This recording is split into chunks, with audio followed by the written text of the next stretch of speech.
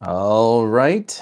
I believe this means we are live. Ladies and gentlemen, boys and girls, tech fans of all shapes and sorts and sizes and persuasions, welcome to another episode of the Monday Morning Tech Chat Show on the SGGQA podcast channel. I'm Juan Carlos Bagnell, aka Some Gadget Guy, the SGG of this terribly named podcast series. But the QA is the important part because that stands for question and answer, and we like to kick off our week get started, uh, uh, get our tech week started with some fun, interactive conversations, a little back and forth, a little dialogue. I'm already seeing uh, an incredible group of geeks in the chat today.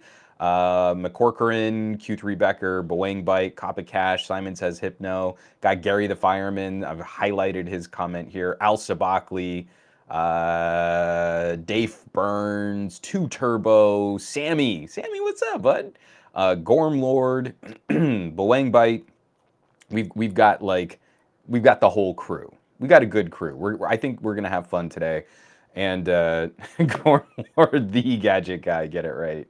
So that is actually the joke. Um, you know, when when you try to be sort of jokingly modest, you know, I, the the whole thing, especially starting with some audio guy, because it was the mystery of I wasn't allowed to have social media while I was working at a talent agency. So I was just some random audio guy.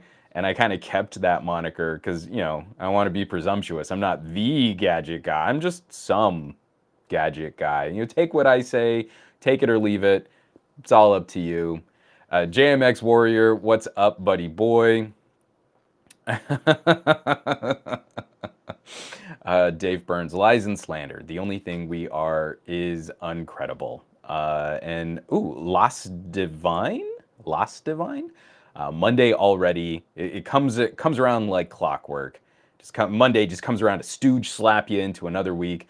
But um, Gorm Lord, I like that villain uh, origin story. So um, we we've got we've got a really heavy news block show today, but this is the day before uh, we get the official word. We take the wraps off of the OnePlus 10 Pro. I'm going to leave it up to the chat. So last week, we were right before the Galaxy S21 FE announcement. We've had kind of an entire week to sort of pick at that phone. I don't have one. I have miserable experiences with Samsung PR. I have zero interest in picking one up. So if we want to talk about the S21 FE in the second half of the show in the gadget block, um, we can we we can try to do that. Uh, I'm going to leave it up to you. Once we get through the uh, the subreddit plug, if if that's something y'all want to do, we can add it to the list. I'm not particularly impressed. I'm just going to front load that right now. And Alsa Bockley, what is up? Gifting out a bunch of tier one subs. Let's see. Al Hit, Bray Gray, Matt Tyler, Muppinish, Last Divine, and Sorry for Bad English tier one subs. Thank you so much. That is that is incredibly generous of you. Thank you so much for supporting uh, the stream and the podcast and and the channel. It's it's uh, it's people like you that are keeping me going these days. And Barry Johnson's in the in the chat. Everyone say hey to Barry Johnson. And Simon says Hypno S21 FE equals why bother. Um, oh, and McCorcoran, yeah, definitely. I think this one's hilarious. Hold on, let me pull this up. Uh, when Samsung does it, it's fine. But uh, McCorcoran writes, I do think it's interesting how the media all of a sudden is okay with six gigabytes of RAM in a device. Yeah, again, uh, you know, it's probably optimization and Samsung magic juice that makes it fun. But if another phone had six giga gigabits of RAM, that would be a deal breaker and them ripping off their customers. so,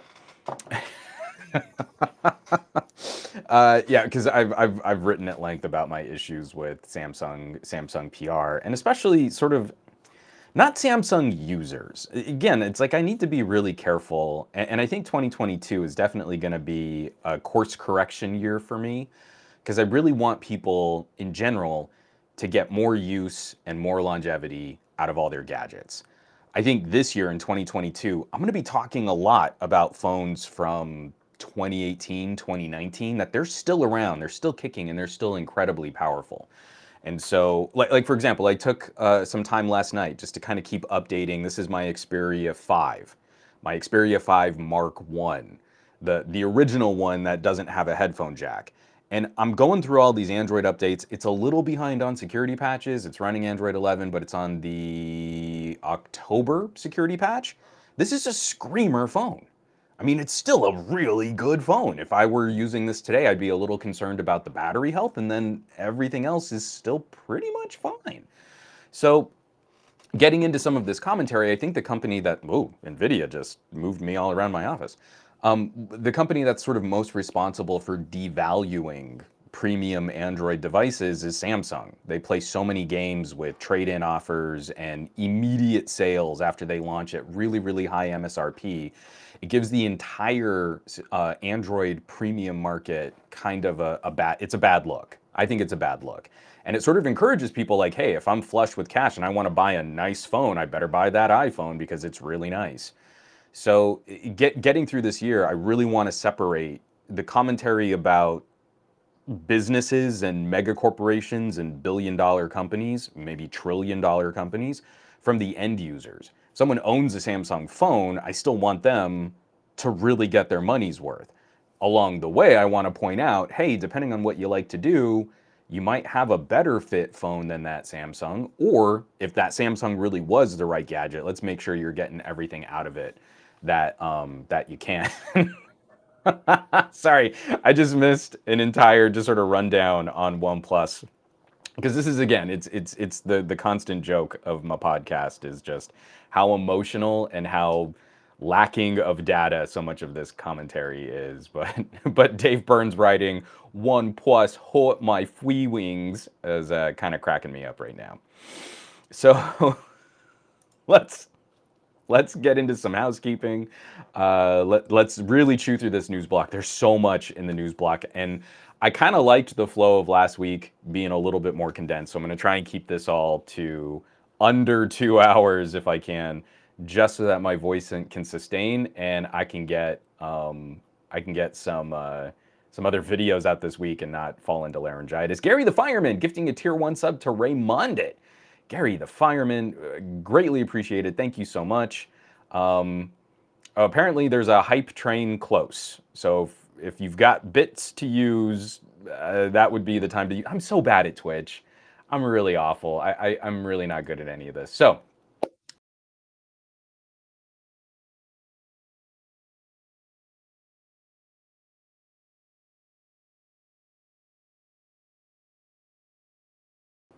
And I'm back. Uh, yeah, someone just tell me if I'm back. We're gonna keep it really simple, and then uh, my stream crashes. I'm showing I'm showing video and I'm showing audio again. So uh, yes, yes, we're back. All right. Uh, apparently, it's going to be one of those weeks. Um, we did the same thing. Uh, we we had a really a, a pretty decently stable stream. Uh, did he poof after saying he was bad at Twitch? Yes, yes, he did. Um, fingers crossed. This this entire podcast is held together by like chewed up bubblegum and off-brand duct tape. Uh, housekeeping is pretty simple last week. I, am sort of in between a bunch of videos and trying to get like I'm still trying to get that Surface Duo camera um, review out. I, I, just rewrote the entire script. I, I, had a completely fundamentally different question and a change of heart. And so hopefully that'll be out this week. Um, getting into the two main videos I got out last week, a review on the OnePlus Buds Z2. Uh, the OnePlus 10 is right around the corner, so if you uh, if you're maybe thinking of picking up a phone without a headphone jack, I'm sure OnePlus would appreciate you throwing some of these in your shopping cart alongside your brand new OnePlus. And then this one was really fun. This was a an extremely difficult video to put together because I shoot everything solo all by myself. But um, I've been spending a little bit more time trying to dig into mobility tech like e-scooters, e-bikes. I'd like to start tackling a bit more lifestyle.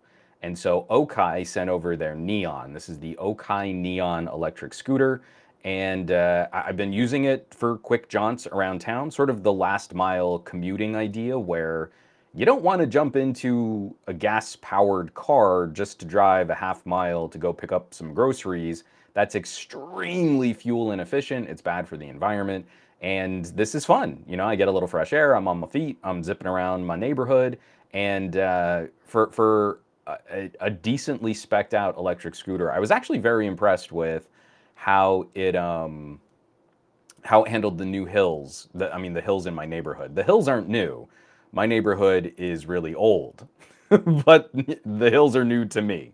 Um, so yeah, a reasonably priced, again, for the price of like a mid-range smartphone, you can have this kind of well laid out mobility experience and you can kind of zip around town.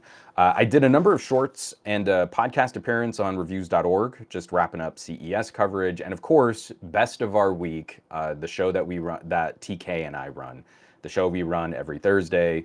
Uh, TK was able to kind of secure a bit of a stream uh, last week.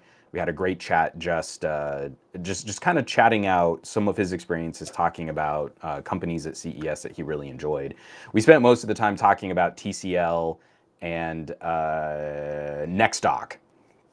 The announcements at NexDock were particularly exciting to me, especially given the mission that I'm trying to engage with. That you should get more use out of your uh, out of your gadgets. Aw, Jeff, thanks, buddy. And Jeff just subscribed at a, at a tier one. Thank you, Jeff. Jeff says we says we need more scooter content from Juan. So the next thing I really need to do, there are some incredible mountain biking trails in this new neighborhood. I am a city guy. I would much prefer being in like a condensed urban three-story walk-up condo, you know, like walk downstairs, find a little, you know, uh, food cart, walk right back upstairs. That that's that's how I'm programmed. But that we're a little bit more rural than we used to be. Uh, you know, buying the place that we're in right now, I'm at least going to get to benefit from some incredible mountain biking, dirt trails, uh, hiking, that kind of stuff. So an electric mountain bike to me just sounds like an awesome, awesome time. Uh, I used to be a mountain biking instructor when I was a Boy Scout. So I'm, I'm, I'm hoping to kind of dabble a little bit more with that. Again, just the whole notion you can pop on, you know, you can hop on a bike, start pedaling away, motor assist, get up to like 25 or 30 miles an hour so that you're not completely in the way of traffic. I mean, it's, it's really cool stuff. And especially at the current prices for this kind of tech, it's pretty remarkable. Ah, C2 Turbo, I have an EMTB and it is amazing. So citation given confirmed. And yeah, Jeff, exactly. I, I really want either a really nice electric road bike or a good big monster fat tire um, electric uh, uh, uh, dirt bike. Uh, not, yeah, you know what I mean. Electric powered or hybrid electric motored mountain bike. And Chatty Boy, okay, so one of the companies, Okai, actually reached out again. Now that I finished the Neon, so uh, Chatty Boy writes, let's all get Vespas. Uh, Okai makes a little seated uh, electric scooter. It looks like a Vespa. When I was younger, when I was like 16, 17, I, I, I helped a friend um, rebuild the engine on a little Honda scooter. I wanted a Vespa just so bad. Like, I ended up getting a used Toyota Camry. Um, what I really wanted was a little a little putt putt motor uh, elect uh, Vespa, and now you you can pick something like that up for I don't know 800 bucks somewhere in there. It's it's it's under I think it's under a grand, and it is. It's a little seated uh, electric scooter. I think top speed's like maybe 16 miles an hour, about a 25 mile range. It's crazy. Again, like th this is one of those frontiers of technology that is rapidly, rapidly and aggressively uh, improving, and prices are falling very, very quickly. All right. Um, yeah, so that's the crux of housekeeping. I managed to get housekeeping done in eight minutes. And I feel like that's a personal record. Is that a personal best? So, someone let me know. I mean, aside from the podcasts where I just don't do any housekeeping. So, um, yeah, kudos to me. I'm going to drink some coffee. All right. Gary the fireman, definitely a record. Dave Burns, new PR. woo woo. That's my soundboard right there. That's the only button I have on my soundboard is trumpet fanfare from the side of my face. All right, let's jump into some news. Um, so last week, or was it the week before, we we we had kind of a bit of a conversation, just continuing. Um, oh, you know what? No, I'm going to say let's switch this up. I would like to start um, the news block with something with something kind of funny. Uh, it, it, especially in regards to some of the conversations we've had about right to repair. Oftentimes we get these little minor victories and then we suffer some setbacks. I wanted to highlight this one. So it was shared on the Discord. Um, I can't remember who shared it on the Discord, so I apologize.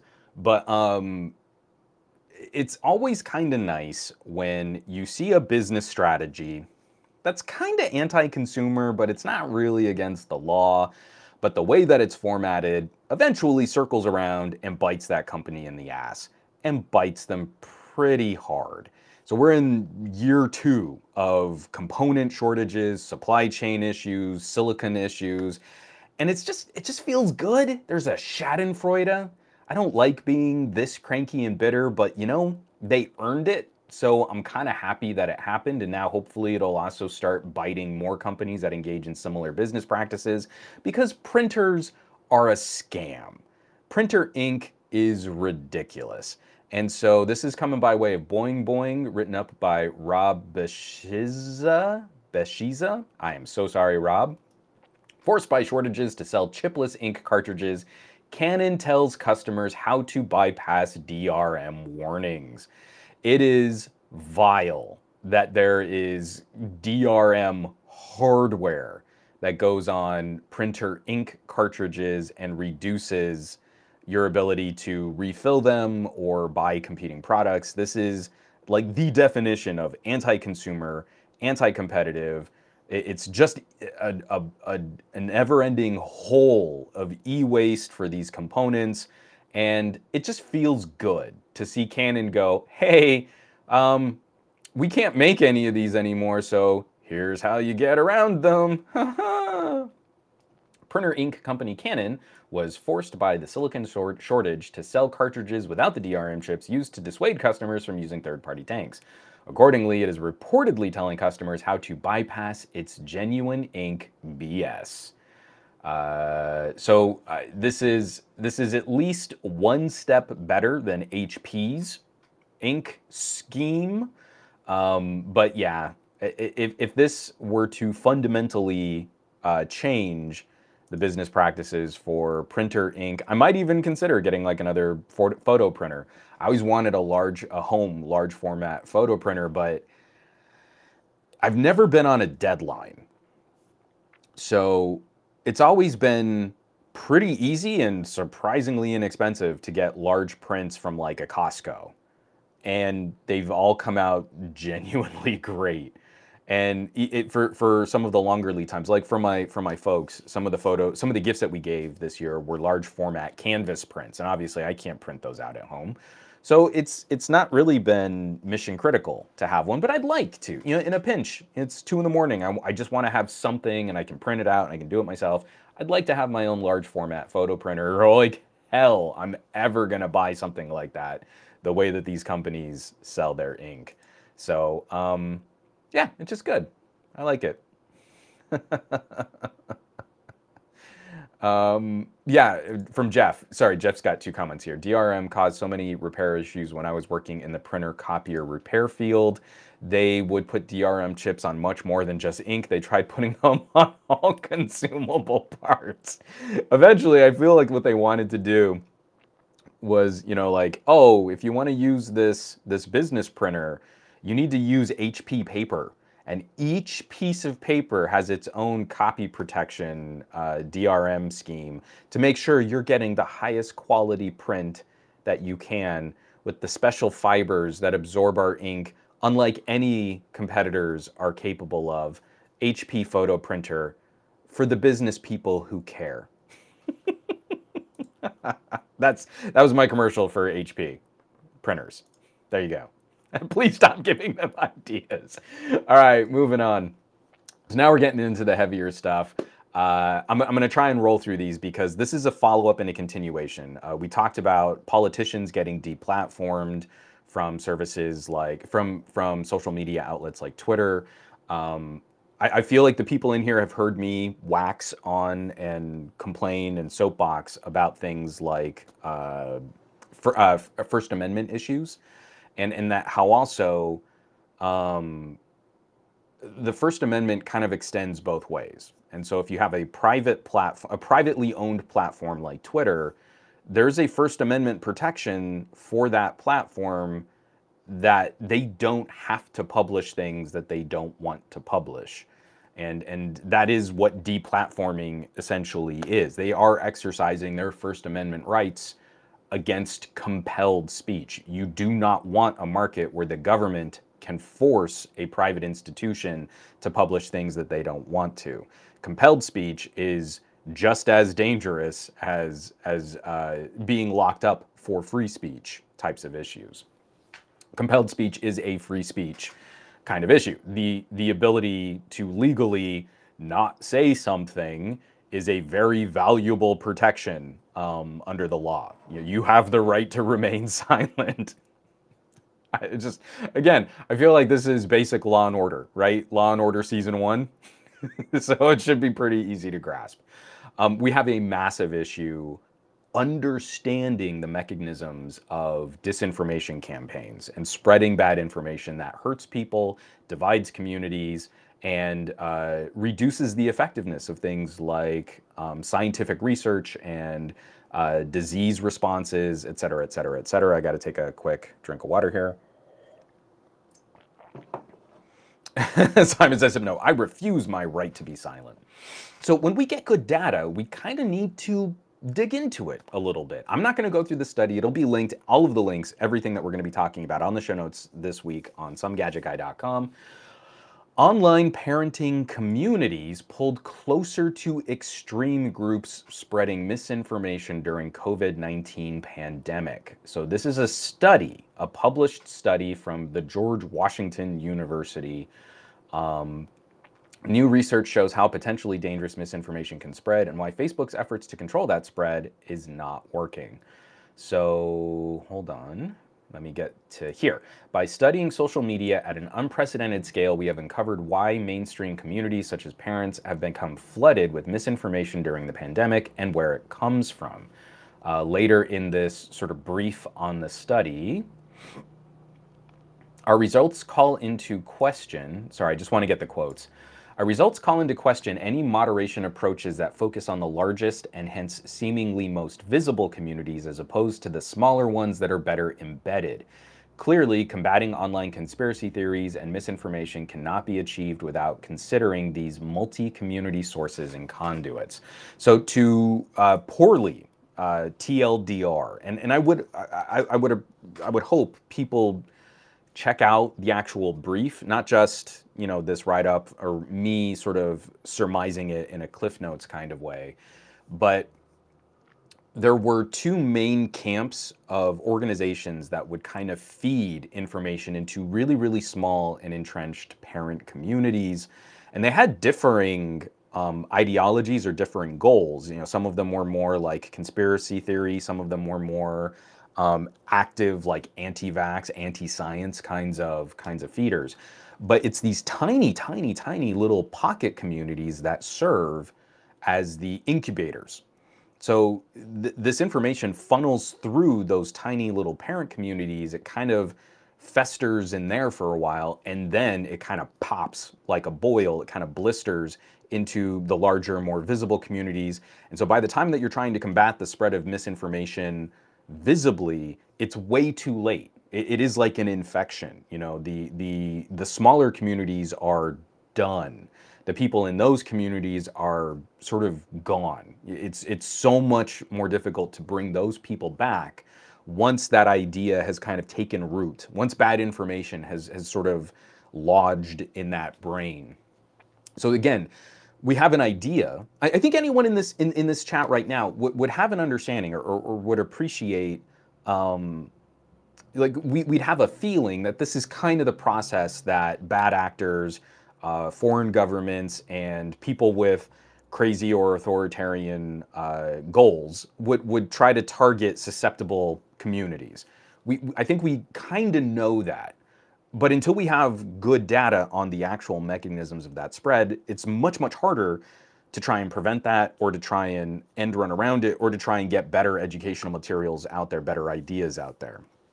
So this is this is one of those valuable studies that helps us describe the actual process for how this stuff um, takes root and how this stuff is eventually uh, distributed. And it's it's it's pretty gross. Um, let me get this out of the way here. um, oh, or actually, this is a great point from from from David too. It's not even media literacy. Basic web literacy is a huge barrier entry. So many people see Facebook as their portal to the internet, and that is very dangerous. It's easy and it's convenient, and that's where all my friends are. And it's funny because again, we keep telling that joke over and over again, like you know, my parents were so into stranger danger, but so many of their peers just believe everything that they see on Facebook. That sort of confirms their feelings on things. Um, so yeah, it's it's it's pretty uh, it's pretty rough. Hmm. So there's something going on with Matt Tyler and Matt Tyler 90. So I'm just gonna time that out for a bit. Cool. So Matt, maybe check your accounts and stuff so that we can see what's going on. As much fun as it is to see you talk to yourself in in my podcast, uh, we're gonna move on because uh, we were talking about understanding the mechanics of how misinformation spreads. I love this article. I'm, I'm, I'm only going to kind of highlight the top of this article because I think the photo that the Telegraph chose um, is hilarious. So this is coming by way of the Telegraph. Sweden launches psychological defense agency to counter propaganda from Russia and China. The new agency is tasked with countering disinformation and boosting the population's resilience in the face of possible influence operation. Okay, that sounds cool, right? Like we need a team of of crack cyber, uh, you know, folks who can fight off cyber propaganda from Russia and China. So, what photo does the Telegraph pick to show off like Sweden's cyber intelligence?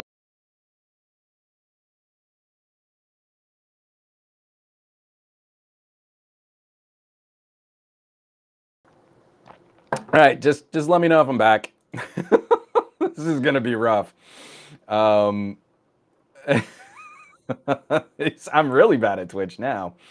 Uh, I, I I don't know if PC reboot is really gonna fix anything. I, I mean, I'm not even seeing like restream wigging out on me. So anyway, um, what photo does the Sweden use? Uh, does the Telegraph use to show off their new psychology cyber initiative a bunch of dudes in tactical gear with guns. That's how you get telegraph readers. It's not that nerdy stuff with like keyboards and mice and computers. Nah, what we got, we got guns. It's ABBA with guns. Oh no. oh, Gary, I too, I love the interwebs. Two turbo, exactly. Uh, you know, you just shoot the computer until Russians can't interfere. Which again, it's kind of like I'm I'm almost positive that a number of those 5G um, conspiracy theories uh, came out of like Russian interference because you convince a, a, population that 5G is bad for you and causes cancer. So then they run out and they torch cell phone towers, and you have just destabilized that country's communication network again, it, I mean, to me, that's pretty clear. Whether or not it, it originated in Russia, I could totally see a couple like, you know, Russian trolls being like, this is hilarious. Watch what we can do. Look, look, they're going to go and blow up their own data centers.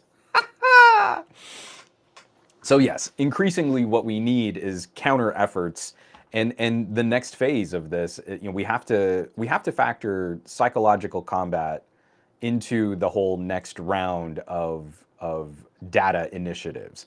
You know, there, there's there's going to be like cyber threats where you hack into uh, like a power distribution node and you can shut off power for a community of people. Like that that is a a targeted cyber warfare tactic.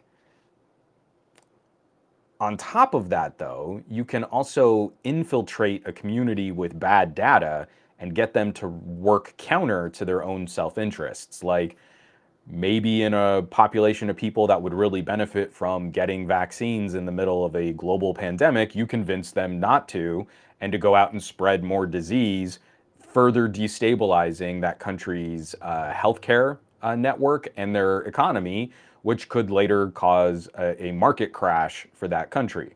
I'm just spitballing. It would be terrible if that were really happening. Of course, this is just the ramblings of some dude on the internet. So there you go. Ah. Matt, ironic that we're talking about hacking right now. I'm just saying, dude. I'm just saying. All right. Uh, moving right along. Uh, again, in this whole uh, scheme of, of privacy and security and protecting your own online um, online identity and online behavior, uh, this was a Reddit post from R You Should Know. Just I felt it was worth reiterating. You know, one of the things I'm going to do, I'm going to start closing out some tabs because I don't think it's a RAM issue, but just in case Chrome is killing my Threadripper with 64 gigs of RAM. Um, I wouldn't put it past Chrome. um, this is from our You Should Know. There's a Verizon Wireless, uh, oh wait, that if you are a Verizon Wireless customer in the US, a new program launched today called Verizon Custom Experience. It tracks every website you visit and every app you use. Program automatically enrolls all customers who must specifically opt out if they don't want to be tracked. So if you're a Verizon Wireless customer, they've got some links on where you can try to manage your online behavior tracking and data uh, identity. Now, I wanted to highlight this one. We're going to keep seeing individual little uh, posts like this pop up. The problem is not specific to Verizon. The problem is endemic to almost every single um, almost every single internet service provider in the country. The last administration and the last FCC really eroded the rules that protected consumer privacy. And it's just too profitable for ISPs to not sell off all your data. So if you want the comprehensive look at what the current market forces are and what the current trends are almost every single major ISP is engaged in what Verizon is doing right now too. And they make it extremely convoluted to go through your customer service portals to try and just get a handle on what the nature of their policies are for data security and data privacy. So uh, what I would recommend is checking out the FTC. The FTC recently published a report. We talked about it on the podcast a while back, but we have to keep reminding people this is industry wide. If you switch from Verizon to some other service provider, like if you switch from Verizon to Comcast, you're in for the same kind of exploitation of your of your online uh, sort of behavior. And again, it's all to their financial benefit because there aren't really any rules to stop them. So if they want to make more money on you as a customer, your data is apparently extremely lucrative. So um, yeah, the FTC published a, a, very comprehensive and easy to read report. Again, it's not like you know government bureaucracy gobbledygook gobbledygook. It's it's pretty clear. I think it's like 70 pages. It's a really easy read. Um, and you know I'll add that to the show notes if folks want to check that out. But it, this is this is increasingly one of those issues that we can't quite fix until we have better regulation over the telecom space. And we had the, those protections better in place before the last head of the FCC basically threw away the FCC's ability to regulate this industry. In fact, some of the responses from FTC commissioners pointed to a lack of um, engagement from the FCC, that the FCC needed to get back into this spa- space as a regulating uh, entity. So it's pretty rough. It's, it's pretty gross again, it's one of the things that I point to if you're a geek, it kind of does matter who's in office. I know a lot of people will say, oh, but both sides are terrible. And you know what? it seems to be really lopsided if you're a techie. Uh, what what side of the political spectrum has had a more consistent beneficial effect on telecommunication regulations and consumer protections, and what side of the political aisle has really worked to obstruct and throw away uh, regulations and consumer protections. So, uh, with that in mind, we've got a class action lawsuit brewing for Google. I know you're, you're probably like, but which one? Because there are so many. Well, let me take another drink of coffee here. Ah. Oh, Ted, sorry. Yeah, I don't have links turned on in my Twitch chat, but that that was really cool of you to try and supply that. Um, I, will I'll add it to the show notes, man. Uh, but yeah, it's uh, the FTC read is great, and he, he actually shared what the title of title of it is. A look at what ISP ISPs know about you, examining the privacy practices of six major internet service providers. All right, uh, Google and class action. Let's let's get to it. All right. Google basically pays Apple to stay out of the search engine business, class action lawsuit alleges. Now, Apple has an agreement with Google that it won't develop its own internet search engine so long as Google pays it to remain the default option in Safari. Uh, filed in a California court earlier this week against Apple, Google, and their respective CEOs. The lawsuit alleges the two companies have a non compete agreement in the internet search business that violates U.S. antitrust laws. So I've harped on about Apple in the past because I find Apple's communication to be disingenuous and sometimes intellectually dishonest.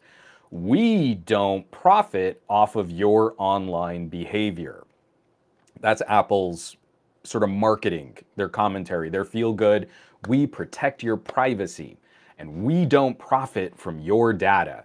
We profit by letting Google profit from your data. And they profit to the tune, I believe, last year was something in the ballpark of $12 billion for Google to be the search engine behind Siri and to be the default search engine in Safari. So it would be really bad.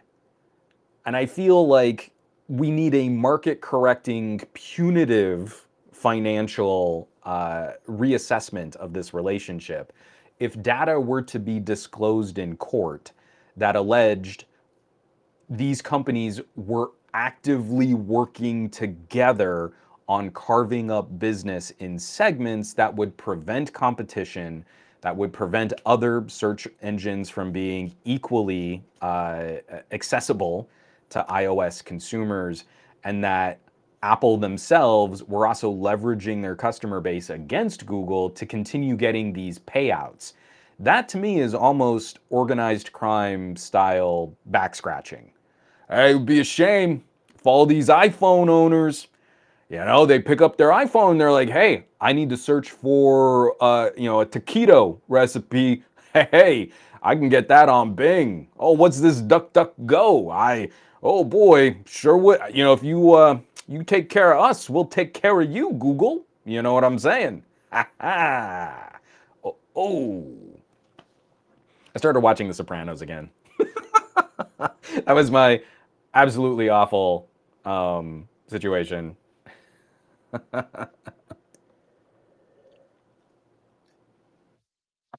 ah. So, uh, moving right along. Let me get this. Uh, oh, good. Matt is Matt again, I guess. So we'll see. We'll see how that goes. Paul. Sorry, I'll read that next, Aditya. Uh, me, hey Siri, how much do you make from Google? Siri, here's a search result that doesn't answer your question. Ted, scratch, uh, scratch your back, we'll scratch yours. And Aditya Anil, this is a terrible. Don't, don't, don't encourage me like this. Juan's gangster voice is very inspired. That's a very polite way of saying that I have a terrible gangster voice. So, um, where are we at the gadget? Oh no, I've got two stories here that I do want to run down here real quick. Um, again, we're talking about privacy and the the um, sort of the lengths that companies go to market privacy when they don't really live up to the uh, the standard that their marketing sets. Hold on, I'm going to clear these links. And uh, this is another one. We, we talked about this, uh, I can't remember when. I want to say it was a couple weeks back. Um, AirTags being used by car thieves to sort of track high end automobiles. Um, we totally predicted that AirTags were going to be used for nefarious purposes, and another story has come out. This one, courtesy of the New York Post. A model stalked in New York City after a stranger slips AirTag into her coat pocket. And she details on her Instagram, she, she had a little Instagram video detailing a, a kind of a scary incident where she she wasn't able to keep track of her coat. Someone slipped an AirTag into her pocket. She was walking around for a significant period of time before that AirTag finally alerted her iPhone, "Oh, by the way, there's someone tracking your location." You are in the proximity of an AirTag and have been for quite a while. So even from the iPhone perspective, while it's great that the AirTag eventually notified her, this is not a good operating standard for a location tracking device. And I think it just further goes to show Apple, again, in Apple trying to make this a proprietary standard that would only benefit iOS consumers, they've completely wrecked, you know, sort of the privacy and security of, of every other gadget. There is no ping from an AirTag that will alert an Android phone that someone is tracking their location. So that's terrible already. Apple immediately, upon creation of this tech, should have reached out to the Bluetooth SIG um, to create some kind of ping. You know, just like when you open up your earbuds and your phone goes, oh, hey, there are new earbuds here. Do you want to pair with them? There should be an immediate, you are in the proximity of a location tracking device, ping for all Bluetooth, for all Bluetooth devices especially ones that seem to follow you for any given period of time. So already that's bad enough. That's bad enough. A- Apple is purposely making this product in a way that only benefits iPhone owners and can be used to great detriment against other uh, operating systems. That does not make me want to do business with Apple. That does not make me want to buy an iPhone just so I can protect myself against AirTags. Like, that's the opposite of what we should be doing. Now, it also seems like it doesn't even do a great job of protecting iOS users. like, this woman ostensibly had an AirTag on her person that was not assigned to her account for a significant period of time that almost gave up, you know, her home where she lives. You know, like that is is is even doubly bad. Not only does it, not only is it purposely built to to only enrich iOS users, it's not even done well. so again, like we talked about with AirTags being used, you know, for for stealing cars, uh, when AirTags first came out and people were complaining about, hey, these these are are not well done there are ways to do this in, in, and, and, and disclose to your customers what the actual relationship is and, and what the security implications are. You have not done your due diligence. And a bunch of people kind of shrugged it off. Oh, but Apple always does this and they're the best and they have privacy. Uh, Apple, Apple cares about privacy. They're not good at it. They're really not. And, and this is exactly the type of, of uh, sort of uh, ugly use that we predicted, and it turns out that that's totally true. Like, again, who could have predicted this except for all of the people who were concerned about the implementation of this AirTag? And it's totally the way that people are abusing them.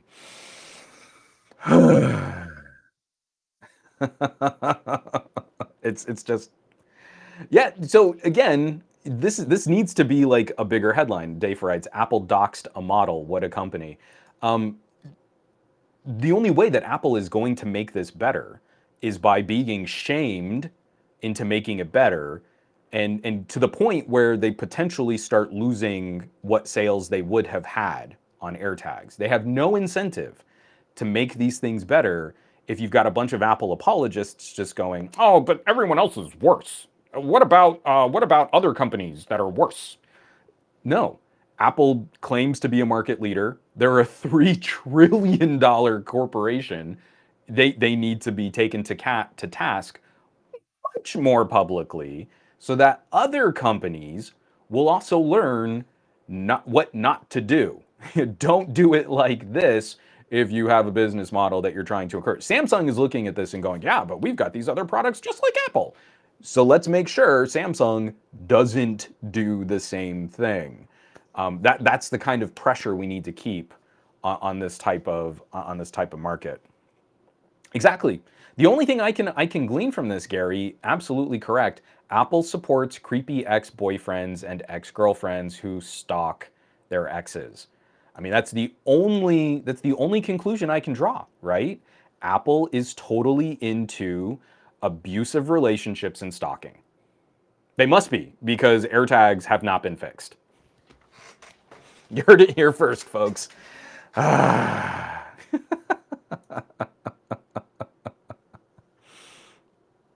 Oh, Paul, it's not like I want people to feel bad about that kind of stuff. Uh, Paul says, I make myself feel better by covering all my Apple logos with a dbrand skin. I, I mean, like, again, the mission is I want you to like your gadgets for what they really are. Um, the marketing on Apple products is, has always been highly emotional and kind of suspect. And this is a perfect example of not really achieving what the messaging says it is. Matt Tyler, extreme skins. Uh, all right, all right, Matt. Cool, cool your heels there. um, last last story, and this isn't. You know, I'm not going to preface this. I'm not going to give it a lead up. Let's just jump right into this so that we can get into the subreddit plug. The news block has gone on long enough. Uh, Governor Newsom signs executive order outlawing price gouging of COVID 19 at home test kits in California. So, this is an executive order where, hold on, I got to get down to. Um, the order announced Saturday prohibits, seller, prohibits sellers from increasing previous prices for the self test kits by more than 10%. Uh, quote, sellers who have not previously sold at home COVID 19 test may not sell testing kits for a price that is greater than 50% of what the seller paid to acquire the testing kit. Um, any violation of the executive order could result in a misdemeanor charge punishable by a fine of up to $1,000 or imprisonment for up to six months or both.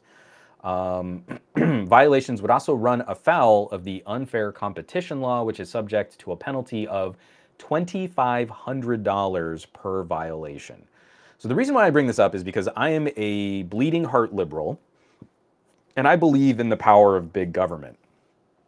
We've been going through uh, uh, two years of supply chain issues, um, of middlemen, of price gouging, of you know GPUs being sold way above MSRP, and we see, keep seeing these little gleam, these little glimmers of potential for some kind of legislation to try and crack down on scalpers, on bots, on people that exist only to manipulate markets for their own personal financial benefit.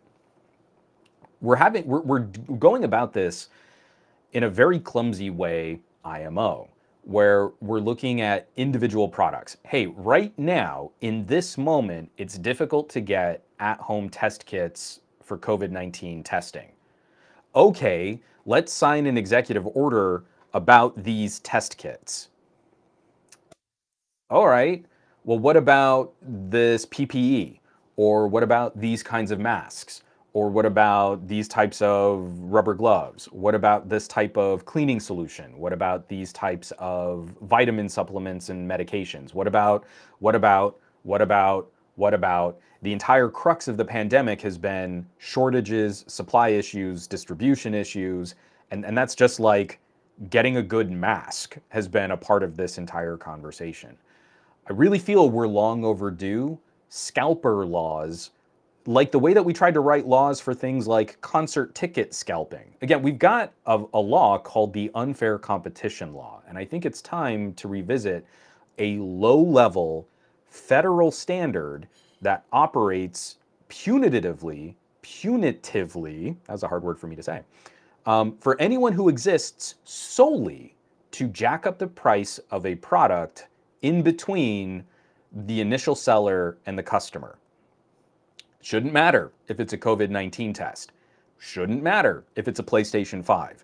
Shouldn't matter if it's a fancy new motherboard or a GPU or sterilized gloves or uh, medically rated masks. If you enter into the market solely to constrain supply, jack up the price, create more um, barriers for customers to buy that product only to benefit yourself, I feel you probably deserve some prison time. Right now, this is the reality of the world that we're living in and the difficulties we found getting products or protective gear or uh, proactive COVID testing gear to the consumers that need them. And I feel like we need to make this so unfashionable and so painful that people strongly reconsider their desire to be resellers of this kind of of, of, of, of anything, really.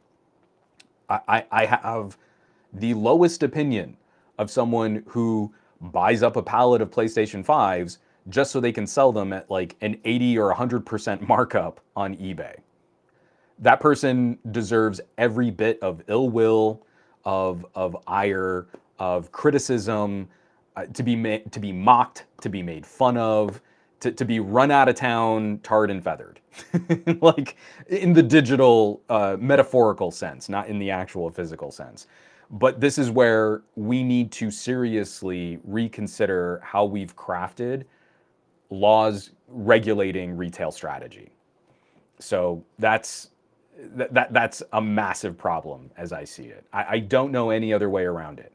We're going to keep signing individual executive orders. We're going to craft a piece of legislation on concert ticket scalpers. Okay, well, that same business practice affects everything else. So if we at least make it like, at least like some kind of federal felony, then it's immediately going to have an effect on the market of people who are thinking, hey, you know what? I got a couple grand kicking around. What I could do, I could buy up all these masks and then sell them at like five times the price. Yeah, that's what I'm going to do. I'm going to hurt people and make money. We we've got to we've got to figure that out. Yeah, Matt. Uh, again, it's it, I feel like you've summed it up. If if you're a person that buys in bulk and sells expensive, you're a turd, and you do not deserve to be alive, especially on medicines. Um, so Simon says no. This this is what's tricky, and and this is why my bleeding heart liberalism probably needs someone to check it, right? Um, Simon Says Hypno writes, a fair profit is fine, gouging is not. And we would need an outside commission to kind of verify, you know, someone is in this and they're actively acting as distribution for markets or for communities that are underserved. Okay, so let's say you're in the you're you're in like rural Georgia. It has got to be exceedingly difficult to get good components, good data, good PPE, good medicine out to that area. So someone needs to be fairly compensated for loading up a truck and driving out to a local community store where they know sales are going to be really, really low. There needs to be a balance. Uh, like I'm not saying anyone who wants to resell should be thrown in jail. What I what I'm saying is finding finding the line where that crosses into exploitation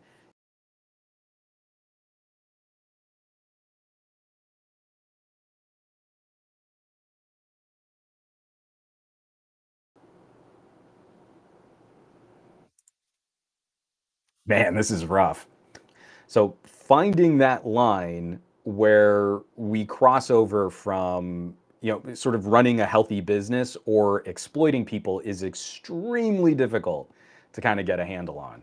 It's it's it's not going to be easy, but I think we need to to kind of come in hitting harder and then kind of walk back, find where the subtleties lie. Unfortunately, I think we need to take a broadsword approach um, really chill the market out for a bit and then work backwards and find where there can be some subtlety in in in how we line all that stuff up. Oh yeah, and and so Simon says Hypno says I agree with you Juan, but the rot starts at the top. They have no interest in when their noses are buried in the trough.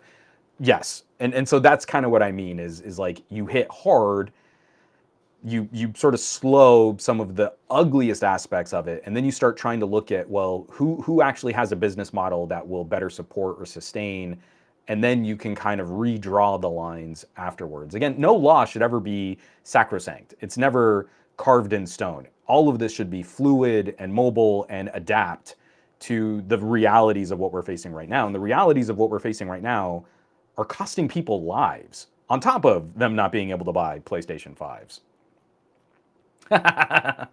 Gary Bezos is not liking JCB's rant. Maybe that's why my Twitch stream is going down so often. Take that, Twitch. Ooh. All right, so um, that's going to wrap us up for the news block. I'm going to clear out some more links. Um, just a really quick subreddit plug. Every podcast has a subreddit. Mine is no exception, but my subreddit is focused on trying to help promote and uh, share content that we feel deserves more attention. We finally wrapped up the smartphone elimination challenge. It was a bracket of 36 companies. I was really excited about this because I purposely left off Samsung and Apple because I'm a jerk and I'm, again, a a, a, a hater, a Sam Apple hater.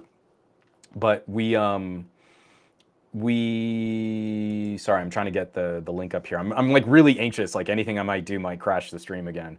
Uh, we, we put together a bracket of all the alternative companies, and it was really exciting because so many people were coming to this bracket going, "Oh yeah, I forgot they even made phones." You know, all of these tech enthusiasts that had no idea about half of these companies and then seeing like how every day people were sort of supporting or voting against individual companies. It was a lot of fun. But we finally got to the conclusion. It came down to a shocking ending. I if if you would ask me like, "Hey, if you have to bet your entire family's financial future on one company making it to the end of this bracket, what company do you think it would be?" I would have said Xiaomi. But Xiaomi went out in the top 4.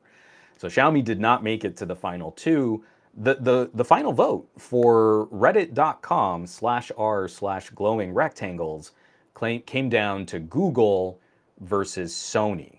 I mind blown. Just so if uh, if we go to reddit.com slash r slash glowing rectangles for the next week, I'm going to leave it up just because it was a ton of work for me to put this bracket together and check on it every day, mostly every day. I missed a couple days, uh, especially I would take Sundays off. Um, but we eventually got down to the end of the bracket, and the winner of the smartphone elimination challenge is Sony the Sony Xperia ended up being the strongest alternative brand of the year of 2021. And I think it was a pretty strong year. Uh, we got Xperia 1 Mark III, we got the Xperia Pro I, even the Sony mid-rangers were pretty decent. Uh, that whole bracket came down.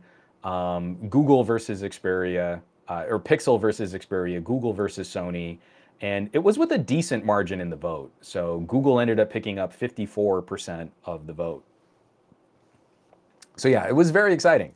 Um, it was it was an interesting year for Google. Again, launching the Pixel 6 and Tensor and all that fun stuff. And then, like I said, Xperia Pro I is such a monster device. Um, it, if you're really looking at what a pro phone should be, um, it, it, it, was it was a pretty crazy uh, offering uh, especially for photo and journals, uh, photo professionals and journalists.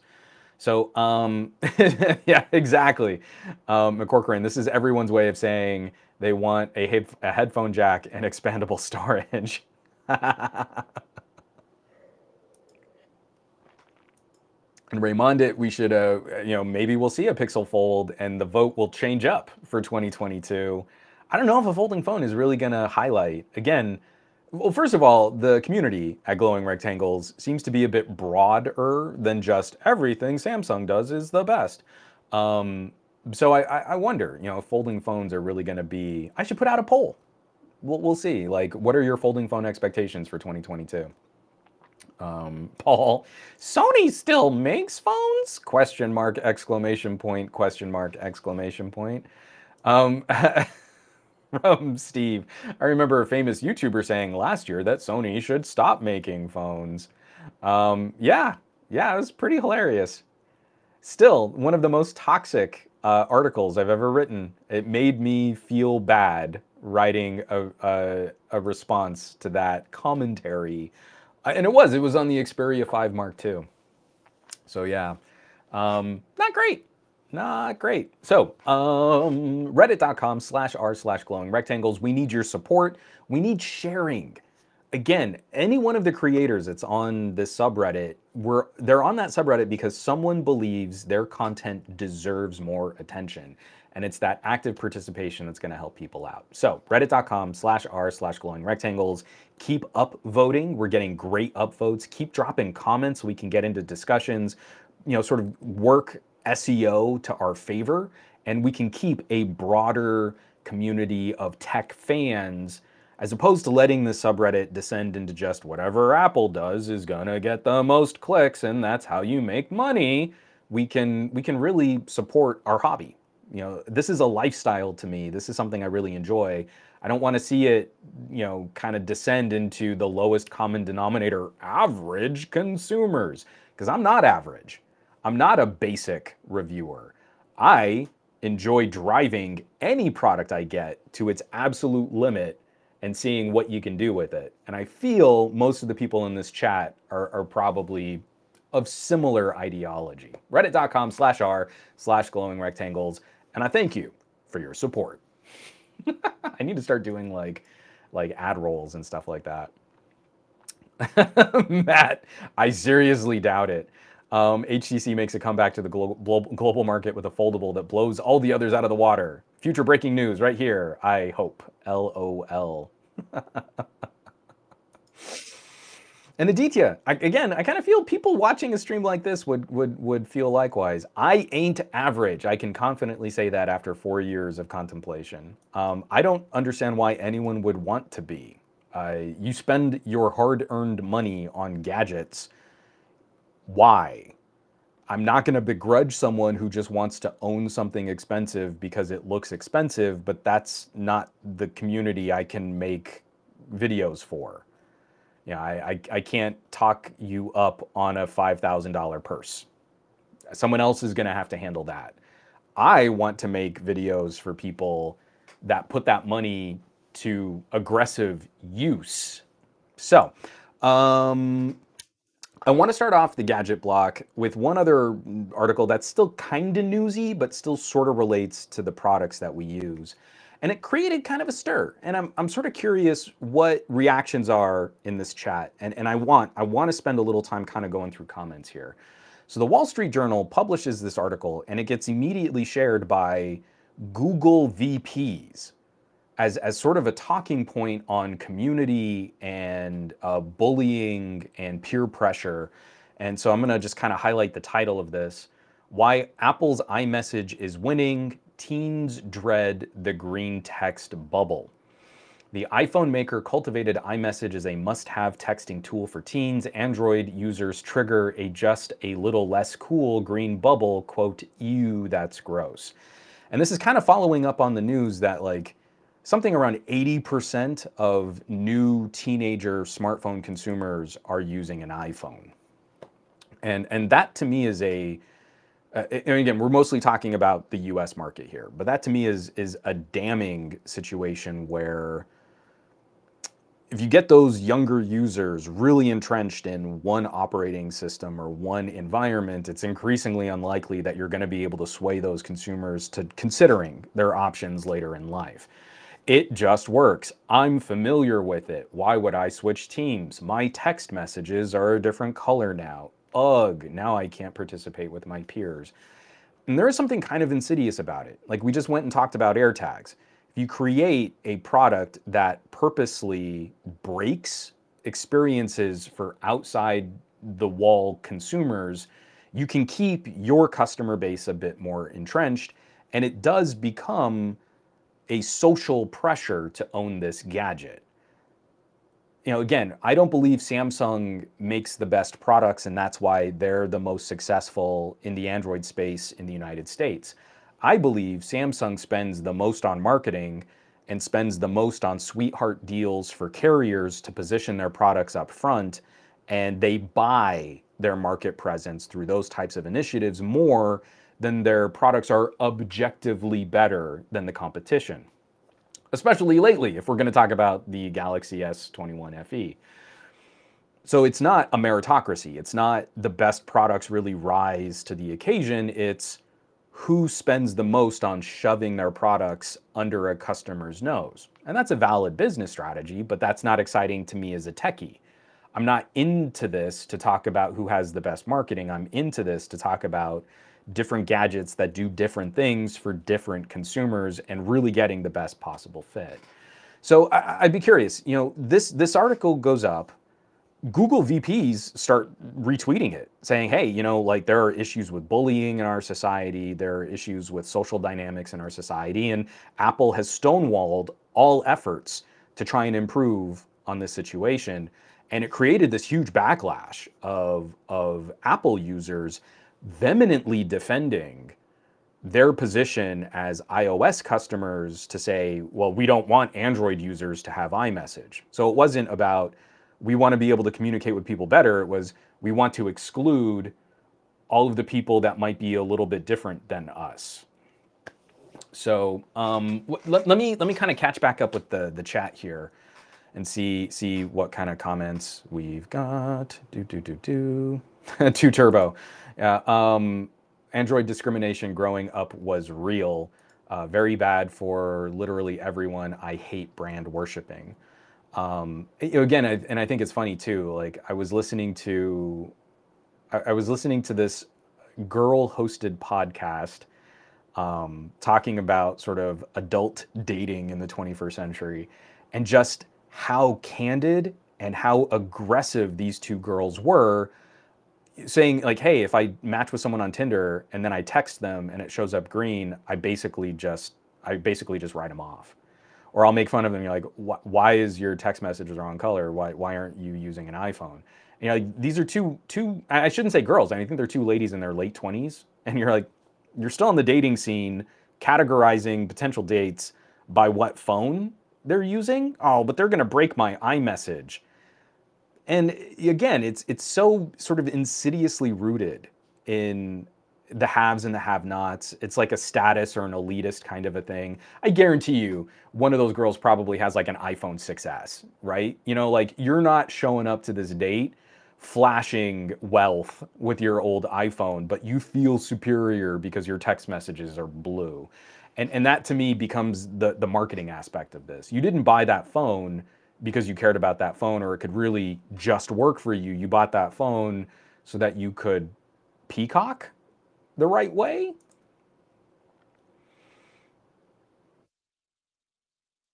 From McCorcoran. I mean, this is also part of part of it too. The thing is, you can even own an iPad and AirPad uh, and AirPods Pro, and that's not good enough for Apple. You have to buy their stuff for everything. Um, from Destadore, I wouldn't fully put it under discrimination because I feel like that's a pretty loaded word, but yeah, there is definitely a huge divide with Android shaming. And Paul Puri, absolutely. Marketing is a feature. um, from Cash, and this to me is again another another aspect of this. iMessage only matters in the U.S. Everyone everywhere else. You uh, blah, blah, blah, let me try that again. Everyone everywhere else uses all the other messaging apps, and so I, I went into an Apple uh, subreddit. I think it was our iPhone, and and I kind of just laid out, you know, hey you know, I'm an Android user and most of my family, my immediate family are all on Androids, but my brother's fiance is the lone iPhone user in this little circle. And it's because of her, we constantly have broken RCS. So the flip side of this can also be true. It's just a shame because the carriers screwed us over royal, fighting on different standards, delaying their rollouts of messaging apps, eventually just giving it all to Google when it was too big of a mess for them to finish up. And it's a shame because now RCS is really, really good. It's fantastic. It's an iMessage competitor. They're going to be rolling out true end-to-end encryption, which is something that iMessage is Apple has been reluctant to do. And we're we're getting to this really great kind of nexus point where what would be the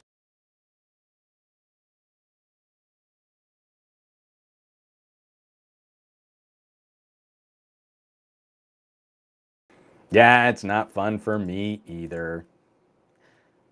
But we're getting to this really great nexus point where the carrier standard, you know, the sort of baked in network operator standard is genuinely going to be the better platform. It's just way too late. The carriers drag their heels and and they kind of wrecked this market for everybody else and that's a massive bummer. And so, I, I mean, I even got some positive feedback from other Apple users saying like, hey, you know, this this could be better, but most of my family we just moved to some other messaging service. And and that's that's the reality of of where we're at. RCS is actually very good now. It's just too late. And and people found other solutions because the carriers screwed us over. Um, so here, let me um, let me go back through a few more of these chats. Unfortunately, I can't highlight the chats because the stream borked again. Um, Let's get this down to here. Uh, from Michael from McCorcoran. I once got a job at a marketing department with 17 people in it. I was the only one using an Android phone. I was only a contractor and I stuck out like a sore thumb. These were all adults. That happens a lot in the film industry. Um, I would show up with a gaming laptop and there'd be this little Razer green logo glowing at the table and everything else would be MacBooks. But I have to say, like, Surfaces have actually started showing up a lot in production you know, someone's walking around with a tablet and they slam it down on a keyboard dock and they, they can kind of get stuff done that way. It has shaken up a little bit, but mostly you walk into a Starbucks and you'll still see MacBooks, aspiring screenwriters plugging away on their MacBooks. And you're like, yeah, for what you're doing right now, you could have gotten a Chromebook. you're writing at a Starbucks. Um, sure, you needed that that you know two thousand dollar laptop. and yeah, Michael, again, I'm pointing this out specifically. Uh, Michael says some tech YouTubers seem to think Google brought this up, but it was a Wall Street Journal article and they're using that to dismiss the complaint. Um, Google executives shared it, and I think they shared it too aggressively. So it definitely felt like a Google's trying to break iMessage kind of story, but that's not what the article is about. And again, if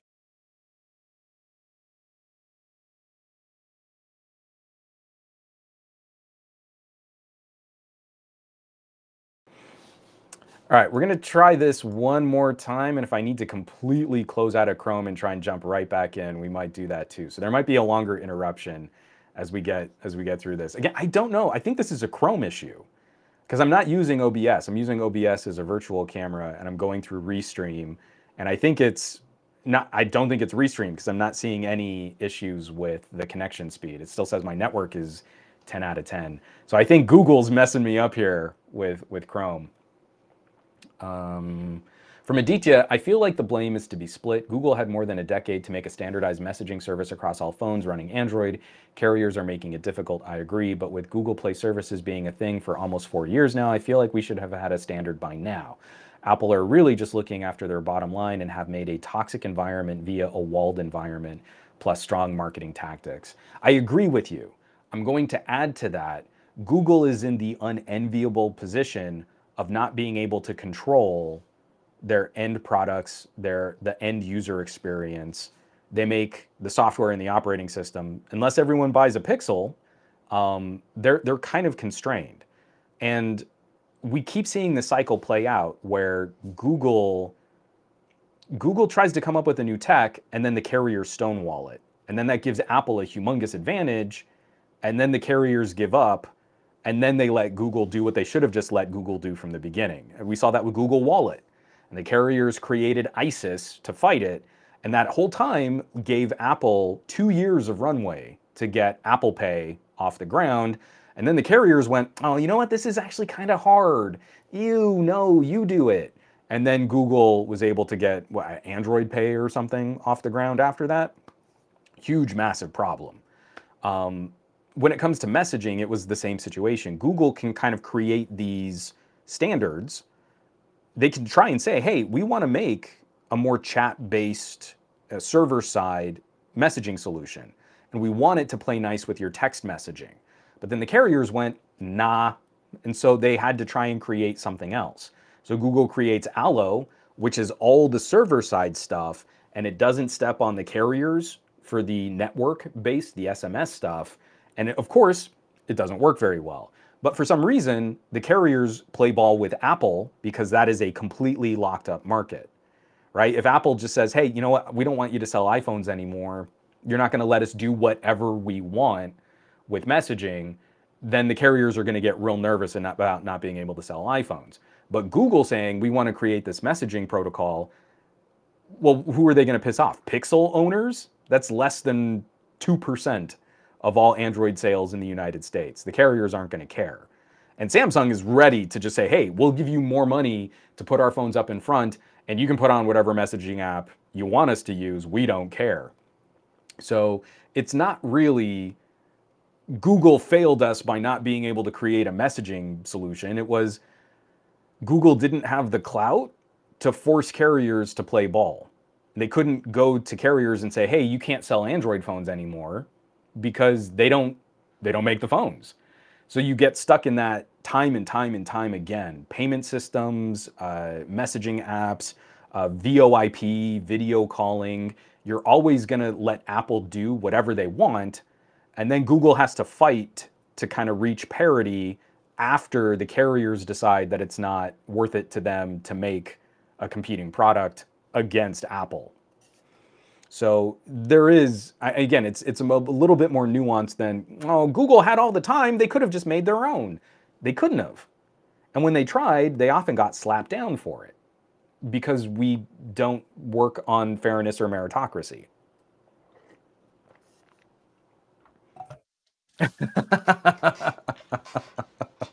From McCorcoran, yeah, again, it, you know, blaming Google here is sort of like blaming the USFL for the NFL having uh, ish policies. Dave Burns, but that headline doesn't confirm my bias.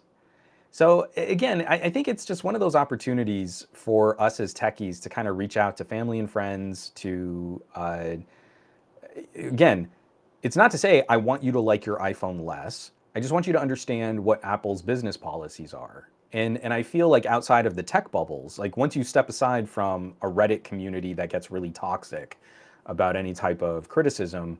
You know, with my family and friends, they kind of understood. They understood why I preferred Android. I would hand them phones that were inexpensive and did everything that they wanted to do and had great cameras and and and that was sort of the linchpin. You know, I my brother and my sister on my brother's on a Motorola, my sister's on a Pixel, her husband's on a Pixel, my dad's on a Pixel, my mom's on a OnePlus, my brother's fiance is on an iPhone 7. Um, no, I mean sorry, an iPhone 8. Um, that that's that's how sort of better information spreads, right? That's that's how we actually make an impact, and and we lead people to the solutions that really matter to them. And again, that was what for me, it started out as my dad doesn't need to buy a thousand dollar phone and he's probably gonna break it or lose it. Dad, you need to look at a Pixel. And starting with like the Pixel 2, he was on board. I'm gonna run this phone for years. It's smaller, fits in my shirt pocket. This is great. I'm actually a little concerned because like there aren't many phones left that he's gonna like um, when when it's time for him to replace his Pixel 4a. So that that that's that's joining this conversation in a meaningful way. You know, uh, stepping outside of you know Apple and iMessage, iMessage never worked great for us because we had a mix of Android and iOS users. That's a bad combination for messaging, and and increasingly, my family started preferring the cheaper Android alternatives that still seemed to be just as good as their iPhones, and that's how we made progress um, hopefully we can keep joining these conversations so that people are finding hey you know what? This is actually a better fit for my needs. It's a better fit for my budget. And just as a family we can all agree maybe we need to switch to telegram. Maybe i need to be on a different messaging. Maybe it's just i'm lurking in twitter dms and that's that's how we get uh, communication going between all the family members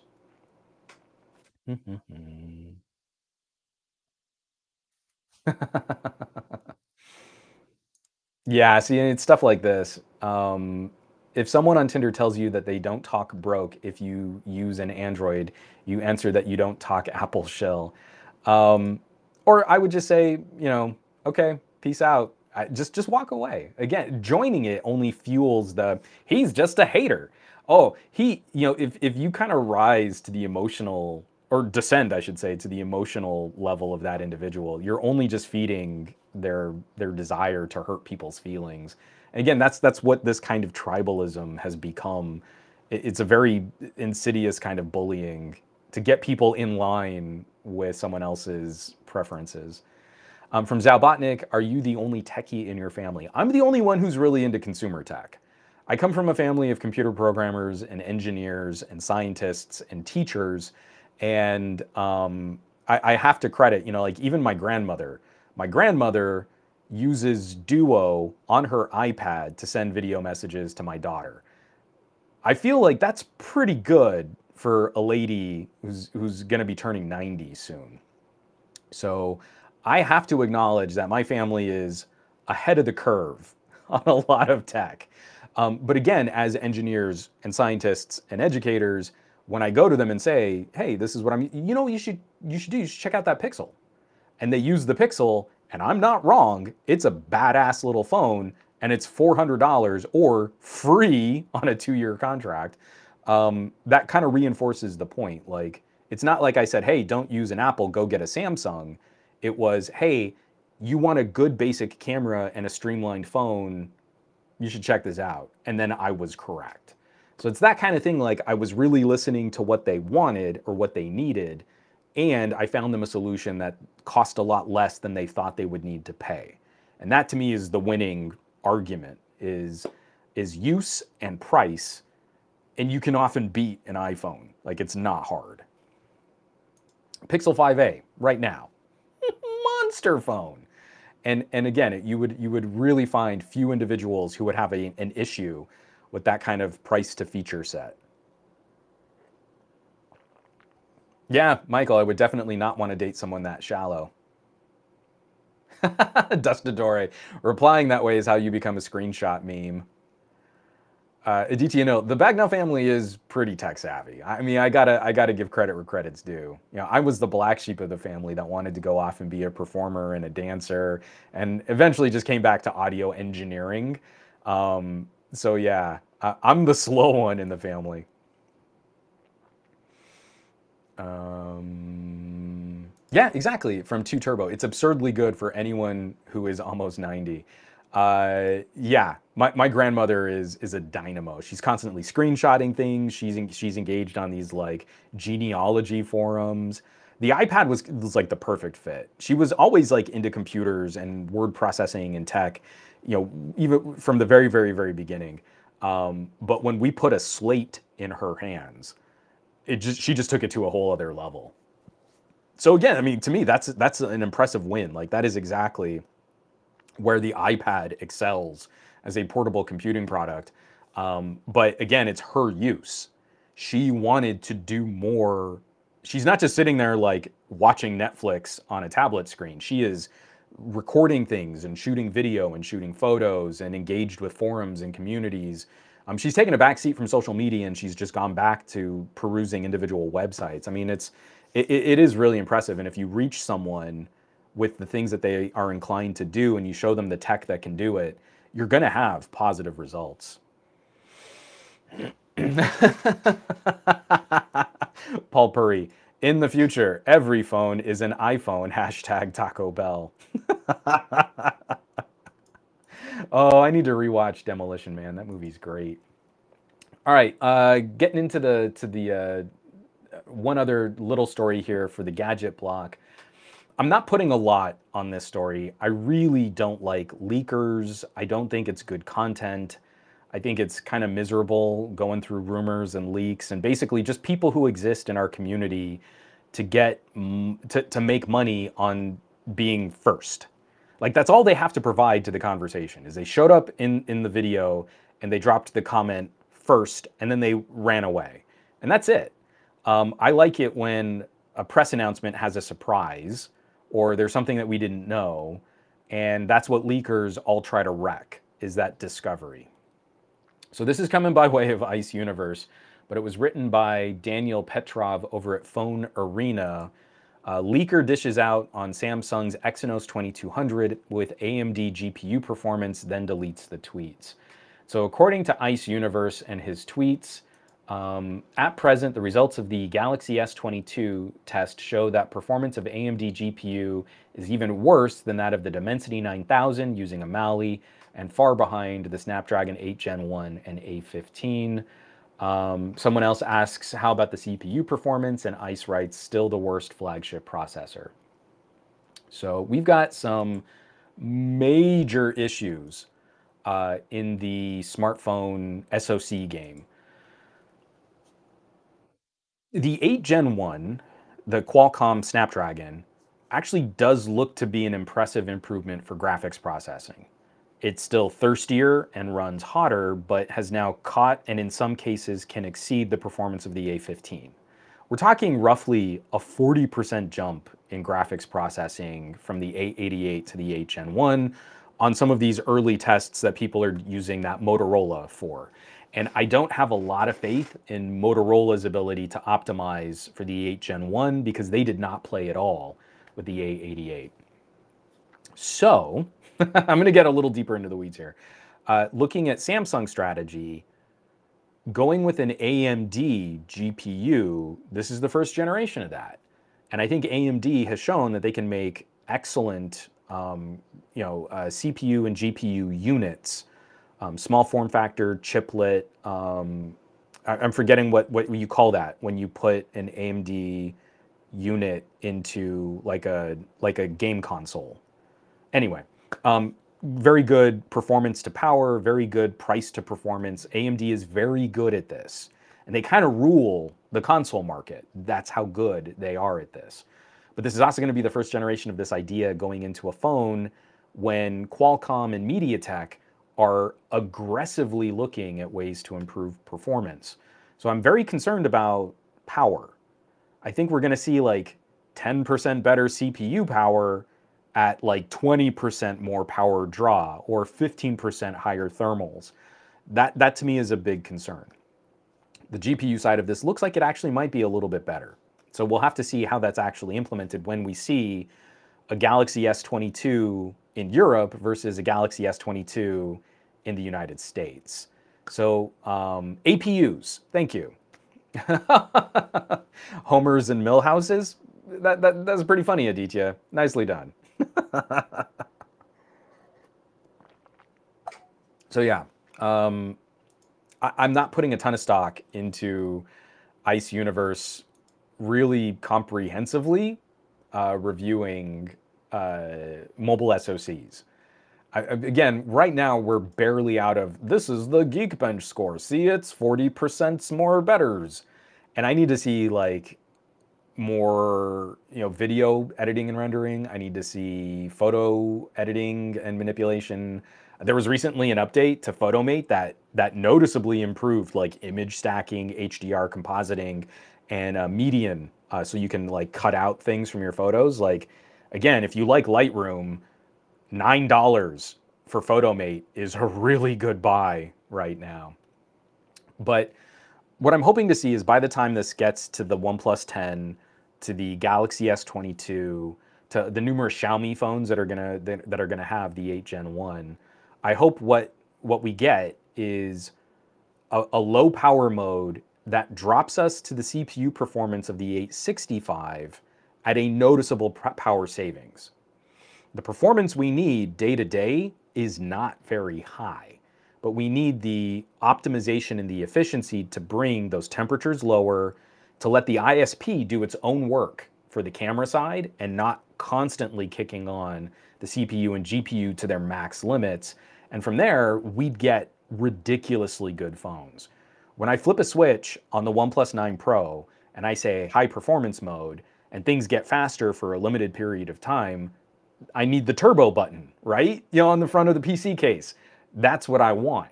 And then for most of the time, I'd really be fine on the lowest power efficiency cores. I don't need Twitter to open up a fraction of a microsecond faster. I need Twitter to use less power. And if I could just keep Twitter on the 5 series cores instead of the 7 series cores or the X1 core, that's way better for me. And I'm fine Twitter taking a second longer to open and populate with new tweets. That is not a mission priority for me to have the, the mostest powerfulest. But when I open up my video rendering software, I need that to cook as fast as I can to get my projects finished. Yo, see, this is this is just it. You know, like I, I, this is why I keep dividing lines between like average consumer reviewers versus rational techies. Uh, Two Turbo writes, I think a lot of techies truly don't care about peak performance. It's the journalists who make money on more outrageous titles. And if you go to more rational techies, they're the ones that are making these smarter purchasing decisions for themselves. You know, like I want a Snapdragon 870 in a Poco. I don't want a Snapdragon 888 in a Xiaomi, right? They're dividing those lines. I'm look at like a Pixel forum and people are so, uh, you know, kind of tweaky about the Pixel 6, but then you see this love fest for the Pixel 5a. This is a phone that's generating all of this positive goodwill in the community where we've got the concerns and, and the delayed software and the updates and the tensor chip, mm, I don't know, on the Pixel 6. So when we get out of the basic reviewers, and I say basic as an insult, um, with all respect, when we get out of those basic reviewers and we start looking at like, well, what do you use? What do you really want in a phone? What features do you need? Mid-ranger performance and better battery life is almost always the winning argument over the mostest, fastest, hottest performance, but with reduced battery life. And and that to me, it's it's just like I'm bashing my head against a wall whenever I, I, I put out like a commentary like that. And then my YouTube comments are just full of, but that's a scam. I, I would have put in a better processor and I need more power. And you're like, but why? I know why I want more power. I'm genuinely trying to replace a laptop here. You're, you're talking about like Genshin Impact and social media. Why? what are you doing?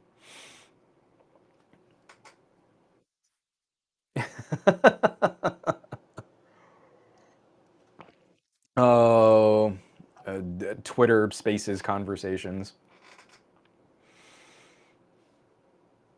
my Gormlord, my hobby is watching benchmarks run, though. if that were true, I don't know that we could be friends. um, Let me get this out of the way. and Gabaletta, absolutely. I think I think we're all on the same page here. I don't, I don't think you're you're being controversial. Gabaletta writes to clarify when I say techies, I'm talking to the uninformed that just follow trends and benchmarks instead of real world usage. It's the disdain I have for people who just memorize specs and then complain about the price for those specs without actually understanding what it's like using that product. And and again, now, my uncle has a Galaxy S9. He just bought another Galaxy S9. That's the phone he likes. He's got a spare because he knows his phone is getting a little older. And it was cheaper to buy a whole other Galaxy S9 than to, uh, there's a tiny crack in the front of his screen and a battery that he wants to replace. So his, S, his current S9 is, is aging out. It was cheaper to just buy a whole other Galaxy S9. And that's the phone he wants. I, I'm, I'm, I keep telling people, like, if they were on a premium flagship tier phone, the S9 or S10 era, you know, LG G7s, I think another perfect example. Unless there's something they really want to do that would replace another piece of tech, like a tablet or a laptop, stay at that same performance level and your battery and costs go way higher. So if you go from a Snapdragon 845 to a Snapdragon 700 series, it's all gravy. You spent less, you have the same power performance, and your battery life takes a huge jump. And it's, it's yeah, I'm just kind of like, th- this is pretty easy to grasp.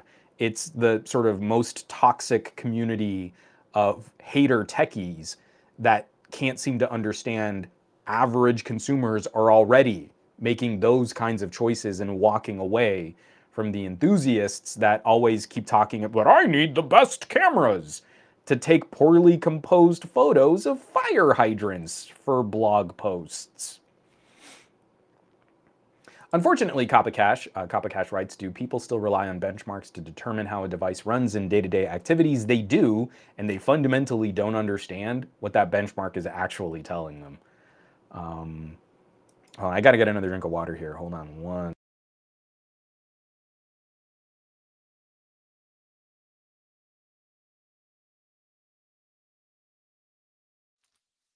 And, and Michael, again, this is the point. Um, I'll see people comment about how they haven't upgraded from their Note 9 or S9, and I think they might be in for a rude awakening if they get the FE or an S21 or an S22 base model. And again, like I think my uncle is a pretty good example of this. Um, he was seriously considering getting a new phone, and he went and looked, and the the phone and the size and the price that he wanted to pay, this did not look like a better phone to him. It looked like a worse phone.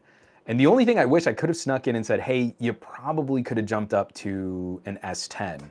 Because the S10e, ooh, I've got schmutz on my S10e. I spilled coffee all over my desk right before jumping onto this podcast. Um, the S10e is kind of the last Samsung I enjoyed using. The, uh, the LG G8 is objectively a better phone than the S10e. Um, it, it, only people who are terrible at tech would say that the S10e was a better phone than the LG G8. um, but the S10e is has kind of become my return to Samsung um, example device. I I like this phone. The hardware fingerprint sensor.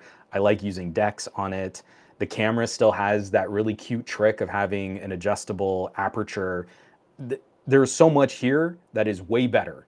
It's a way better experience overall than going to an S21. The S21 is barely more powerful if you turn off the super high power battery draining mode. The S10e is a way more feature complete device.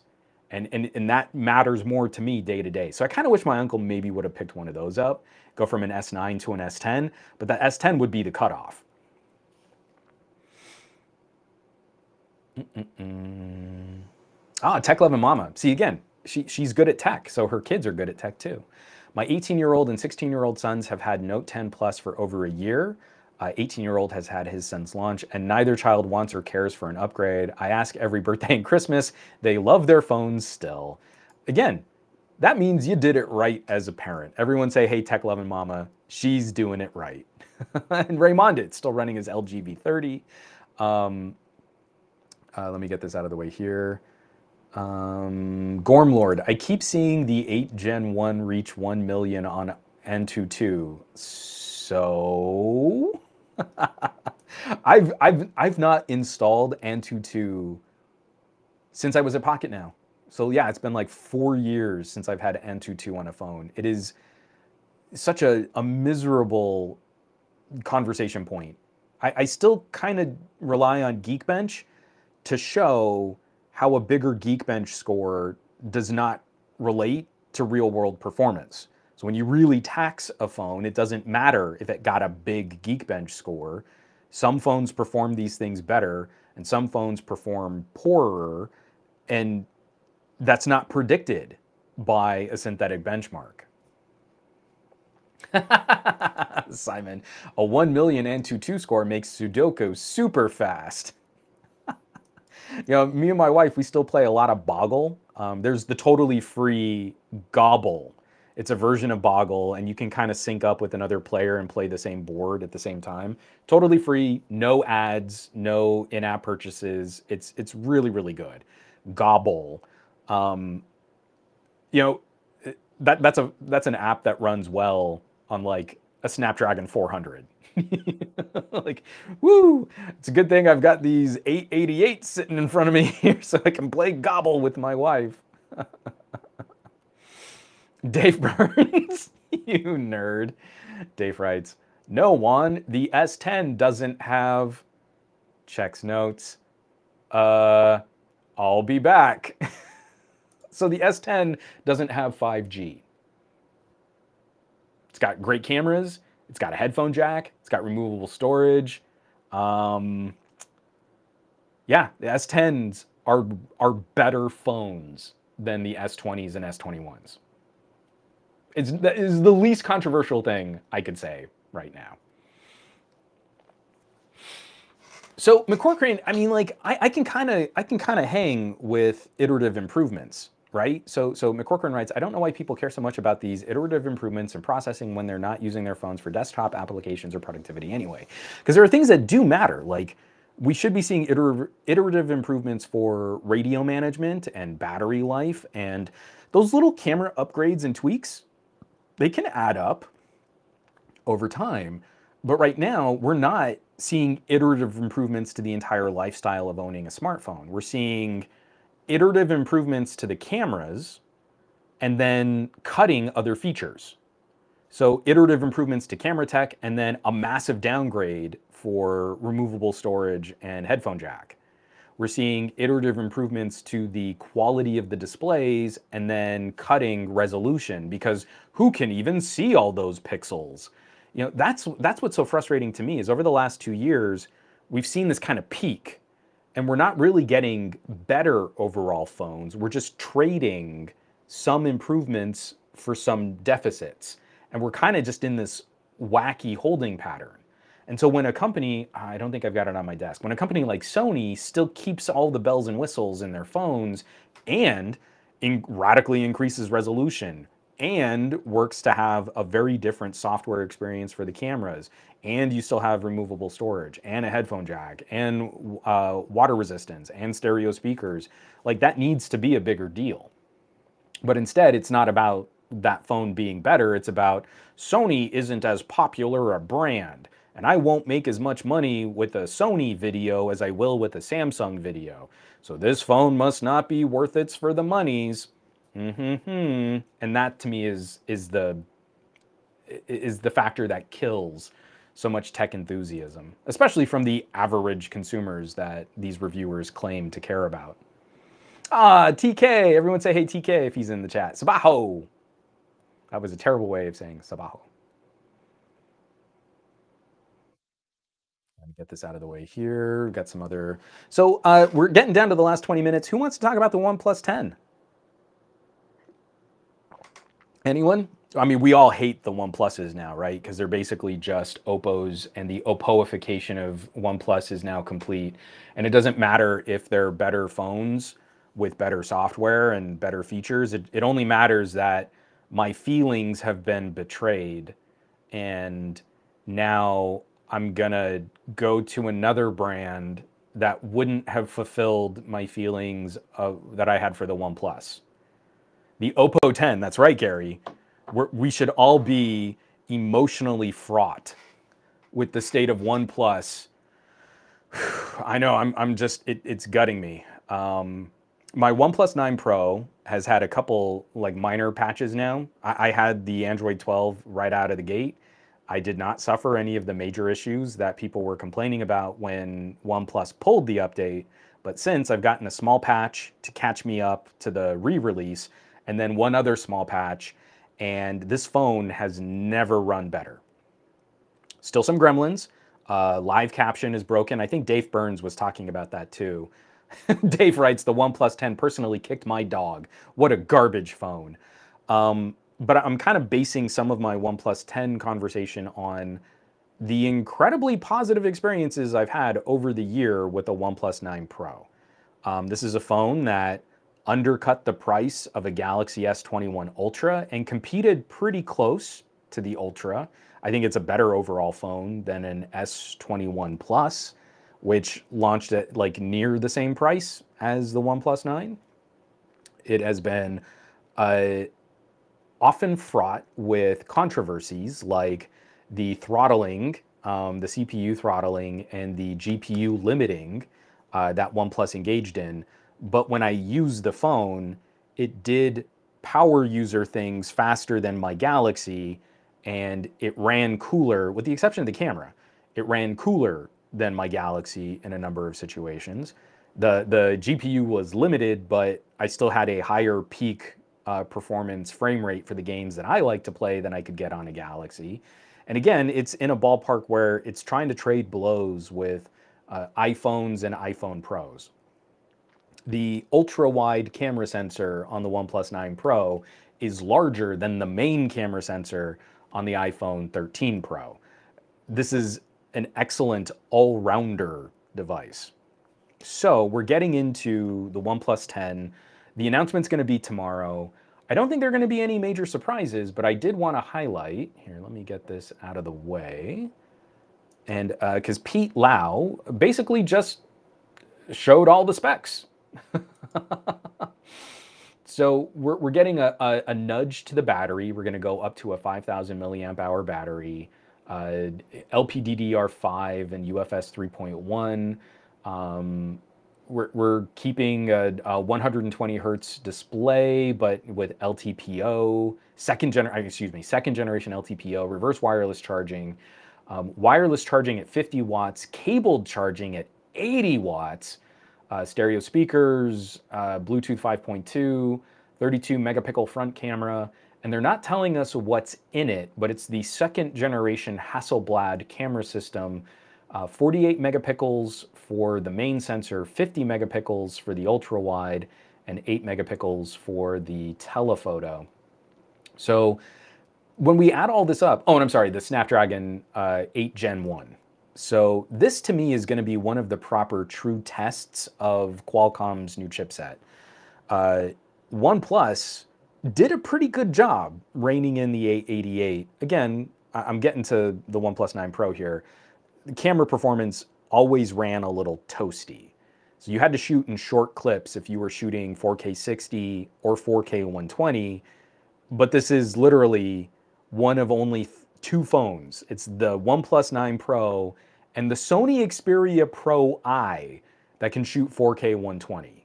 And 4K 120 is really fun to play with if you like speed ramping and slow motion footage and awesome resolution while you do it.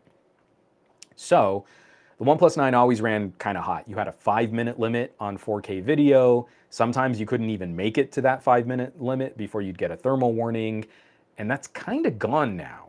So on ColorOS, on, on Android 12, the OnePlus 9 Pro no longer has a time limit on 4K 60 video. And I shot like a seven minute clip just to see, and it ran fine. And I didn't get a thermal warning like I used to get pretty aggressively on Android 11.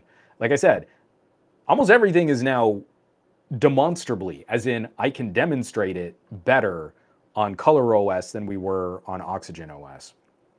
Gremlins, sure. Anything outside the, you know, crazy outside the realm of Android 12 updates? No. In fact, if you think about it, OnePlus is doing better with Android 12 than Google is. So again, let's keep our criticisms in perspective. I think the the Fold finally just got a more a wider release for Android 12. Samsung had to pull their Android 12 release for their most expensive phone every company is going through some kind of teething pain. So what, what I think is where we're going to see, there was a rumor that we might see a larger camera sensor on the OnePlus 10 Pro. We'll have to see, um, especially if we can kind of nudge it up to like the same sort of size as like a Vivo. That would be kind of cool if BBK brands all sort of standardized on the larger 1 over 1.3 inch sensors. That would be that would be pretty sweet. We already saw sort of a, a leak teardown that OnePlus is working to put in more thermal managing hardware, which again, with a Snapdragon, if you want it to be the most powerful, it's going to be running kind of hot. So that would be kind of cool if there was just better thermal uh, thermal handling hardware built into the phone. I'm assuming it's going to be a little bit heavier. It's going to be maybe just a fraction chunkier to put in a larger battery and a copper shield and those graphite pads and, and really try and get heat out of the phone. But again, this is where we have to see performance isn't just, oh, the phone runs hot. You know, like uh, the Razer phone, the Razer 2 was kind of cool. Um, the phone was hot to the touch, but it was getting heat out of the phone. So your performance stayed more consistent over a longer period of, period of time. If OnePlus can do something similar, we're going to see a bunch of people saying, oh, this phone is really hot. And you touch it, and oh, it's so toasty but did we see performance degrade? And that to me is going to be um, the the biggest challenge for OnePlus and other brands like OnePlus and Xiaomi especially um, moving forward on this new Snapdragon. So I, I, I thought it was kind of cool. You know, the specs, that's only a part of the story. We want to see what software initiatives OnePlus has, that they keep up with updates. They've been doing a great job supporting the OnePlus 9s. Um, we want to see like what what what is it that's going to be an improvement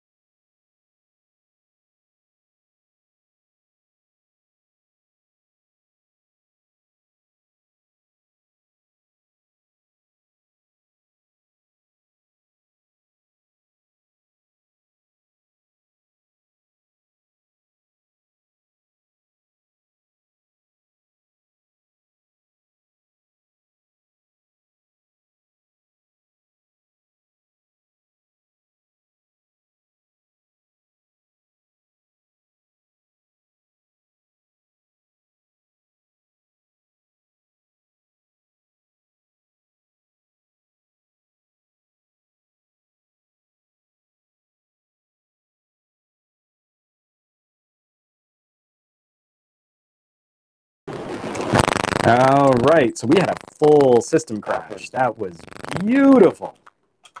Uh, computer's rebooting right now, and then we can get back. Again like all my chat just got wiped. I'm gonna just pull up Chrome here real quick, and then uh, oh let me oh, let me um let me start that NVIDIA. Start my NVIDIA broadcast first we're gonna have some some wonkiness here because I'm, I'm you know switching mics back and forth, and then uh, we'll we'll see if we can get the stream back. That that one was brutal, like full just classic blue screen. Real quick, real quick. Can, can people still hear me if I pull my mic and go off the phone? Someone someone let me know if uh, if I just vanished, the audio just vanished. Do do do. Anyone? Anyone? Bueller? Bueller? Bueller? Better? Better? We good? All right. Okay. So I've got the microphone doing it live, doing it live. And we're going to have to see like what's going on with these blue screens because it's, uh, it's pretty gross. Let me get back into the room, and then I'm not even going to worry about pulling up links and, and other things. Uh, we'll uh, we'll we'll wrap the show up because we're getting just to the last ten minutes. Again, it happened again in the last ten minutes. Ugh, ugh, indeed. All right, almost back in. I need NVIDIA. Let's see. I think that's me. I'm showing levels. I'm showing signs of life. Gonna enter the studio.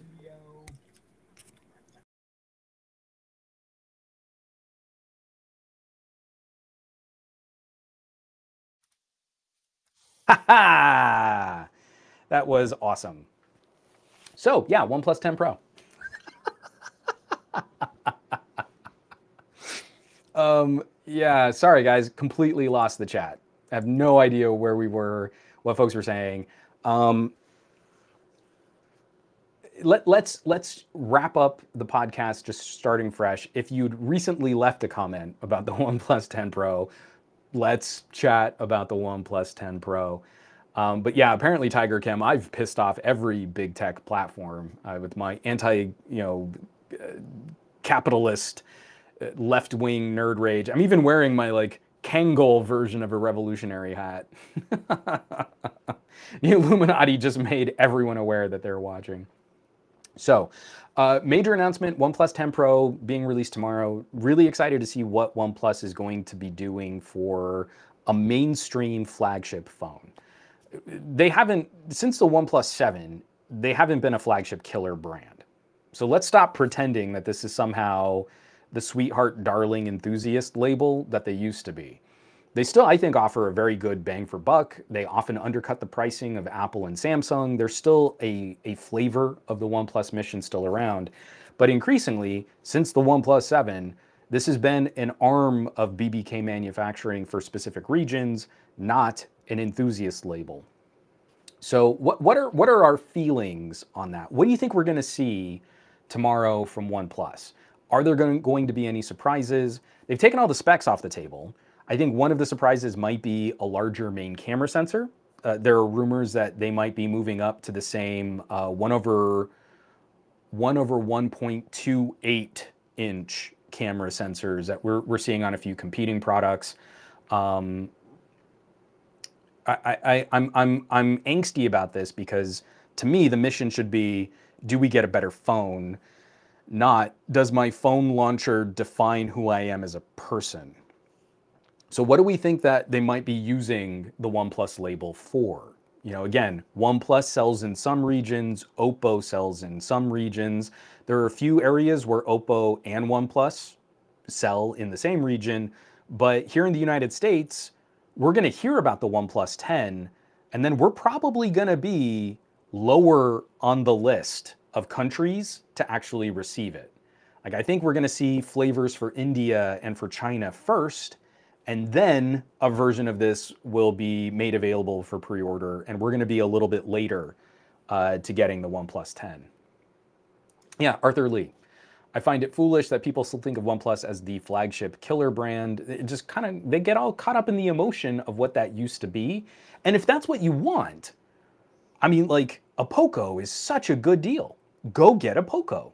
But acting like this, this uh, corporation betrayed you as a customer because they're now making more mainstream products just reeks of that music fandom that I absolutely hate.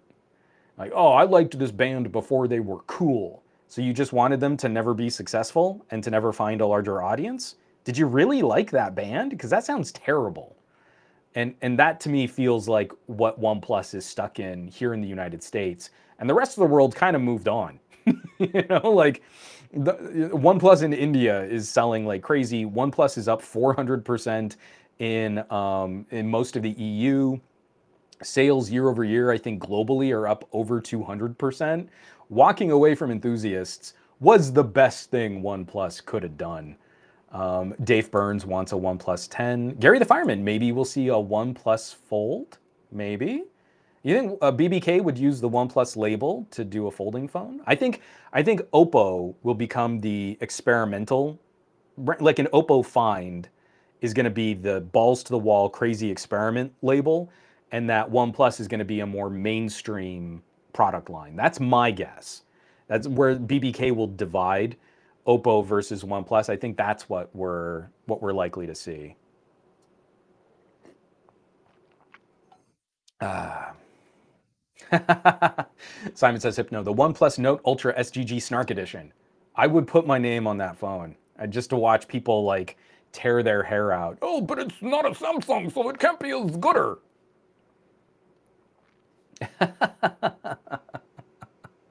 I thought OnePlus sounded better on vinyl.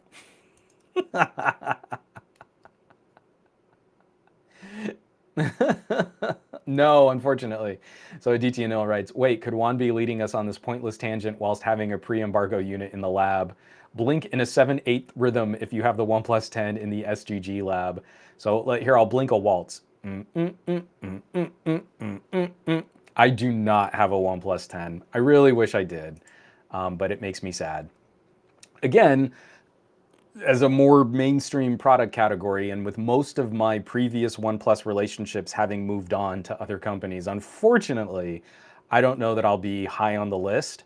So OnePlus is going to go for the big clicks, right? So they're going to send their phone out to reviewers who have every vested interest in not promoting uh, the OnePlus uh, current mission and satisfying the bias of their audiences and they'll be all excited because that'll still generate sales. It'll generate more sales than my audience can generate. But the enthusiast conversation, I think, is going to be increasingly toxic for OnePlus this year, as uh, as we still need to have whipping boy brands. OnePlus and Sony well, they're obviously always going to be the losers in comparisons against Samsung and Xiaomi. Um, it, it's just it, it it it sucks. I mean, again, if I could be a part of that earlier surge, I mean, yeah, it would be good for my channel. But I also feel it would be kind of a more fun counterpoint because it's so easy to predict like what the negative reviews of these products are going to be. That's how like manipulated the review game is. Microsoft called it with the Duo 1. They could perfectly predict what reviewers were going to pan the device on, and they just took all that away in the early embargo days. You know, people's, oh, that's Microsoft trying to manipulate the market.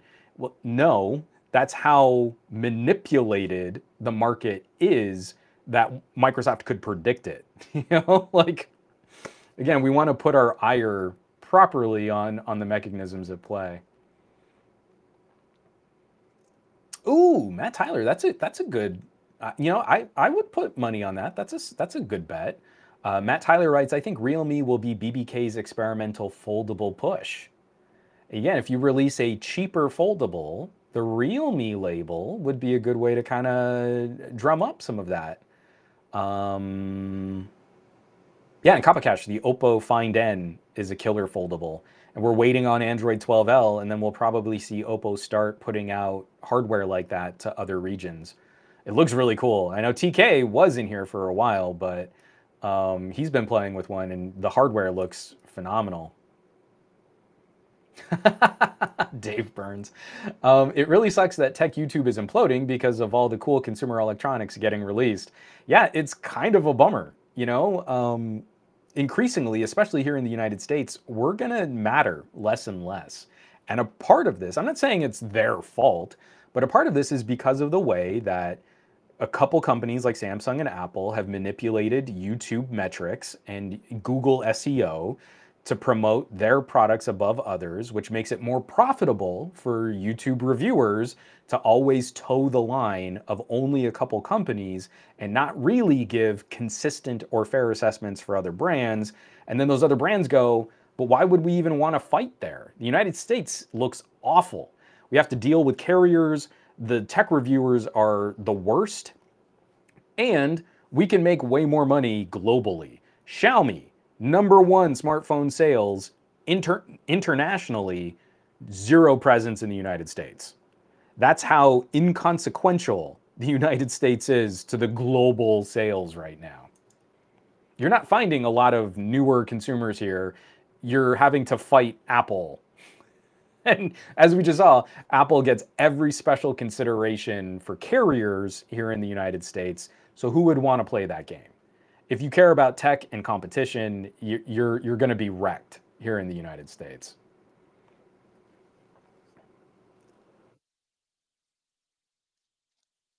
Yeah, CTK has that Oppo. He says it's the right size for a foldable. Love it. See, Arthur Lee. I mean, I, I do the same. My one of my highest viewed videos is me talking about how I won't review the new iPhone coming out. That's how thirsty YouTube is for iPhone content. Um, Arthur writes, I can vouch for the popularity of Samsung and Apple. I posted videos and articles on Samsung products, and those are my most viewed content. Um, um, again, it's it's like the media literacy of this has to become a part of every tech review that we do now. And again, it's why I'm increasingly looking at other other things to talk about you know my little tech talks and how to's and tips and tricks and knowing that those videos are going to do garbage traffic. Um, but it is the initiative that i'm trying to set up on somegadgetguy.com you can go to somegadgetguy.com slash subscribe. I still maintain all of my playlists. So if you would prefer to just you know follow my headphone reviews for example you can subscribe or i mean there's a playlist just for my audio reviews but you can dump playlists into a lot of podcasting apps or feeder reader apps. And I've got the RSS feeds there too. So if you want real notifications on the content that I produce and you want to manicure which videos of mine that you get, you can't do that on YouTube. I had to go and make my own list on my own blog, and that's where you go. Somegadgetguy.com slash subscribe. So speaking of headphones, I'm uh, I want to put this out the full contest mechanics will be published with the show notes. Uh, two weeks ago, I gave away a phone, and literally one person uh, submitted uh, a contest entry to win a phone, and they won that phone. Speaking of, I actually need to pack that phone and ship it to them still. I suck. So this week, I want to give away some really nice earbuds. These are the Ikko Opal OH2s. I have a review on these Ikkos. The Ikkos are great cabled IEMs. I love Ikko products. They make a great DAC. They sent me a couple extra pairs. These are still sealed, like plastic wrapped and everything. They have not been opened. So I'm going to give away a pair of these. This next contest again, because we're not getting a lot of traffic and we're not getting a lot of support and a lot of sharing, is is I can only ship to the United States for these give for these earbuds. I'm hoping that the other pair that I have to give away, we can make an international contest out of later. But to start, USA only, Ikko OH2. What you're gonna need to do is share uh, my Ikko OH2 review somewhere publicly, and then on the show notes for this week's podcast episode, in the comments, drop me a comment with a link to where you shared my review. I don't care where you share it. It could be on Twitter, it could be on Facebook, it could be um, it could be on uh, Reddit, it could be on anywhere that you can click on a link. If you can still get into Google Plus, you can go and share it on Google Plus, and someone can click on it. For every place that you share it, I'll count that as a contest entry. So that's what we're going to do. But I mean, you can get ahead of the sharing right now, but you have to leave a comment on the post for this week's podcast showing me where you shared my Ikko OH2 review. And I'll draw someone at random next week. We'll, we'll give this away.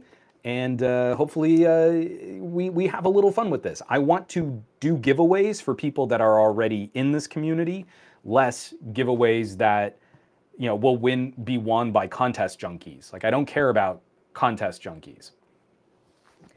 Um, Matt Tyler, that's not international hate, man. You and me specifically have had the worst experiences shipping products to each other internationally. Um, if I'm going to go through all of the shenanigans of shipping out and dealing with like, you know, taxes and fees and imports and duties and and and packaging and all that stuff, um, that's going to be that, that's a lot of effort on my part for you know one person to put in a contest entry on a smartphone giveaway that I had. So, Matt, if you you know what, I'll, I'll I'll say you can enter the contest from anywhere in the world, but I'm only going to ship to the United States. So, Matt, if if you want me to, I'll ship them to Sam, and Sam can deal with shipping them to you. So uh, it, it's it's pretty great. Dave Burns happens to live in the United States. So, um, like I said, the the post for this uh, podcast usually goes live the day after we do the live broadcast with all the replay. Uh, if you share a com, if you share the review and you leave a comment with a link to where you shared the review, you're entered into the contest, and we'll announce a winner next week. All right, folks, that's going to do it for this week's episode. Before my computer blue screens again. Uh, thanks everyone so much for hanging in there because this one was definitely choppy. It was uh, it was a rough ride for all of us, but we made it. We got to the end. Uh, I'm going to be live tweeting uh, the OnePlus announcement tomorrow, so be on the lookout for that. And we've got a ton of fun videos coming up, some camera stuff, my Surface Duo 2 camera stuff, um, and some follow-ups on some other products. I, I'm, I'm a little scattered and I'm trying to wrap this up. So uh, thank you, thank you, thank you, thank you, thank you, and especially to everybody who was supporting, throwing out some some tier one subs, uh, and and and keeping this chat really fun and healthy and lively, uh, folks. Still crazy out there. Uh, for the foreseeable future, it's going to continue to be crazy. So be safe, take care of yourselves, so that you can take care of others. And I'll catch you back here next week for another episode of the Monday Morning Tech Chat Show on the SGGQA podcast channel be safe, be well, and I'll catch you back. I love y'all.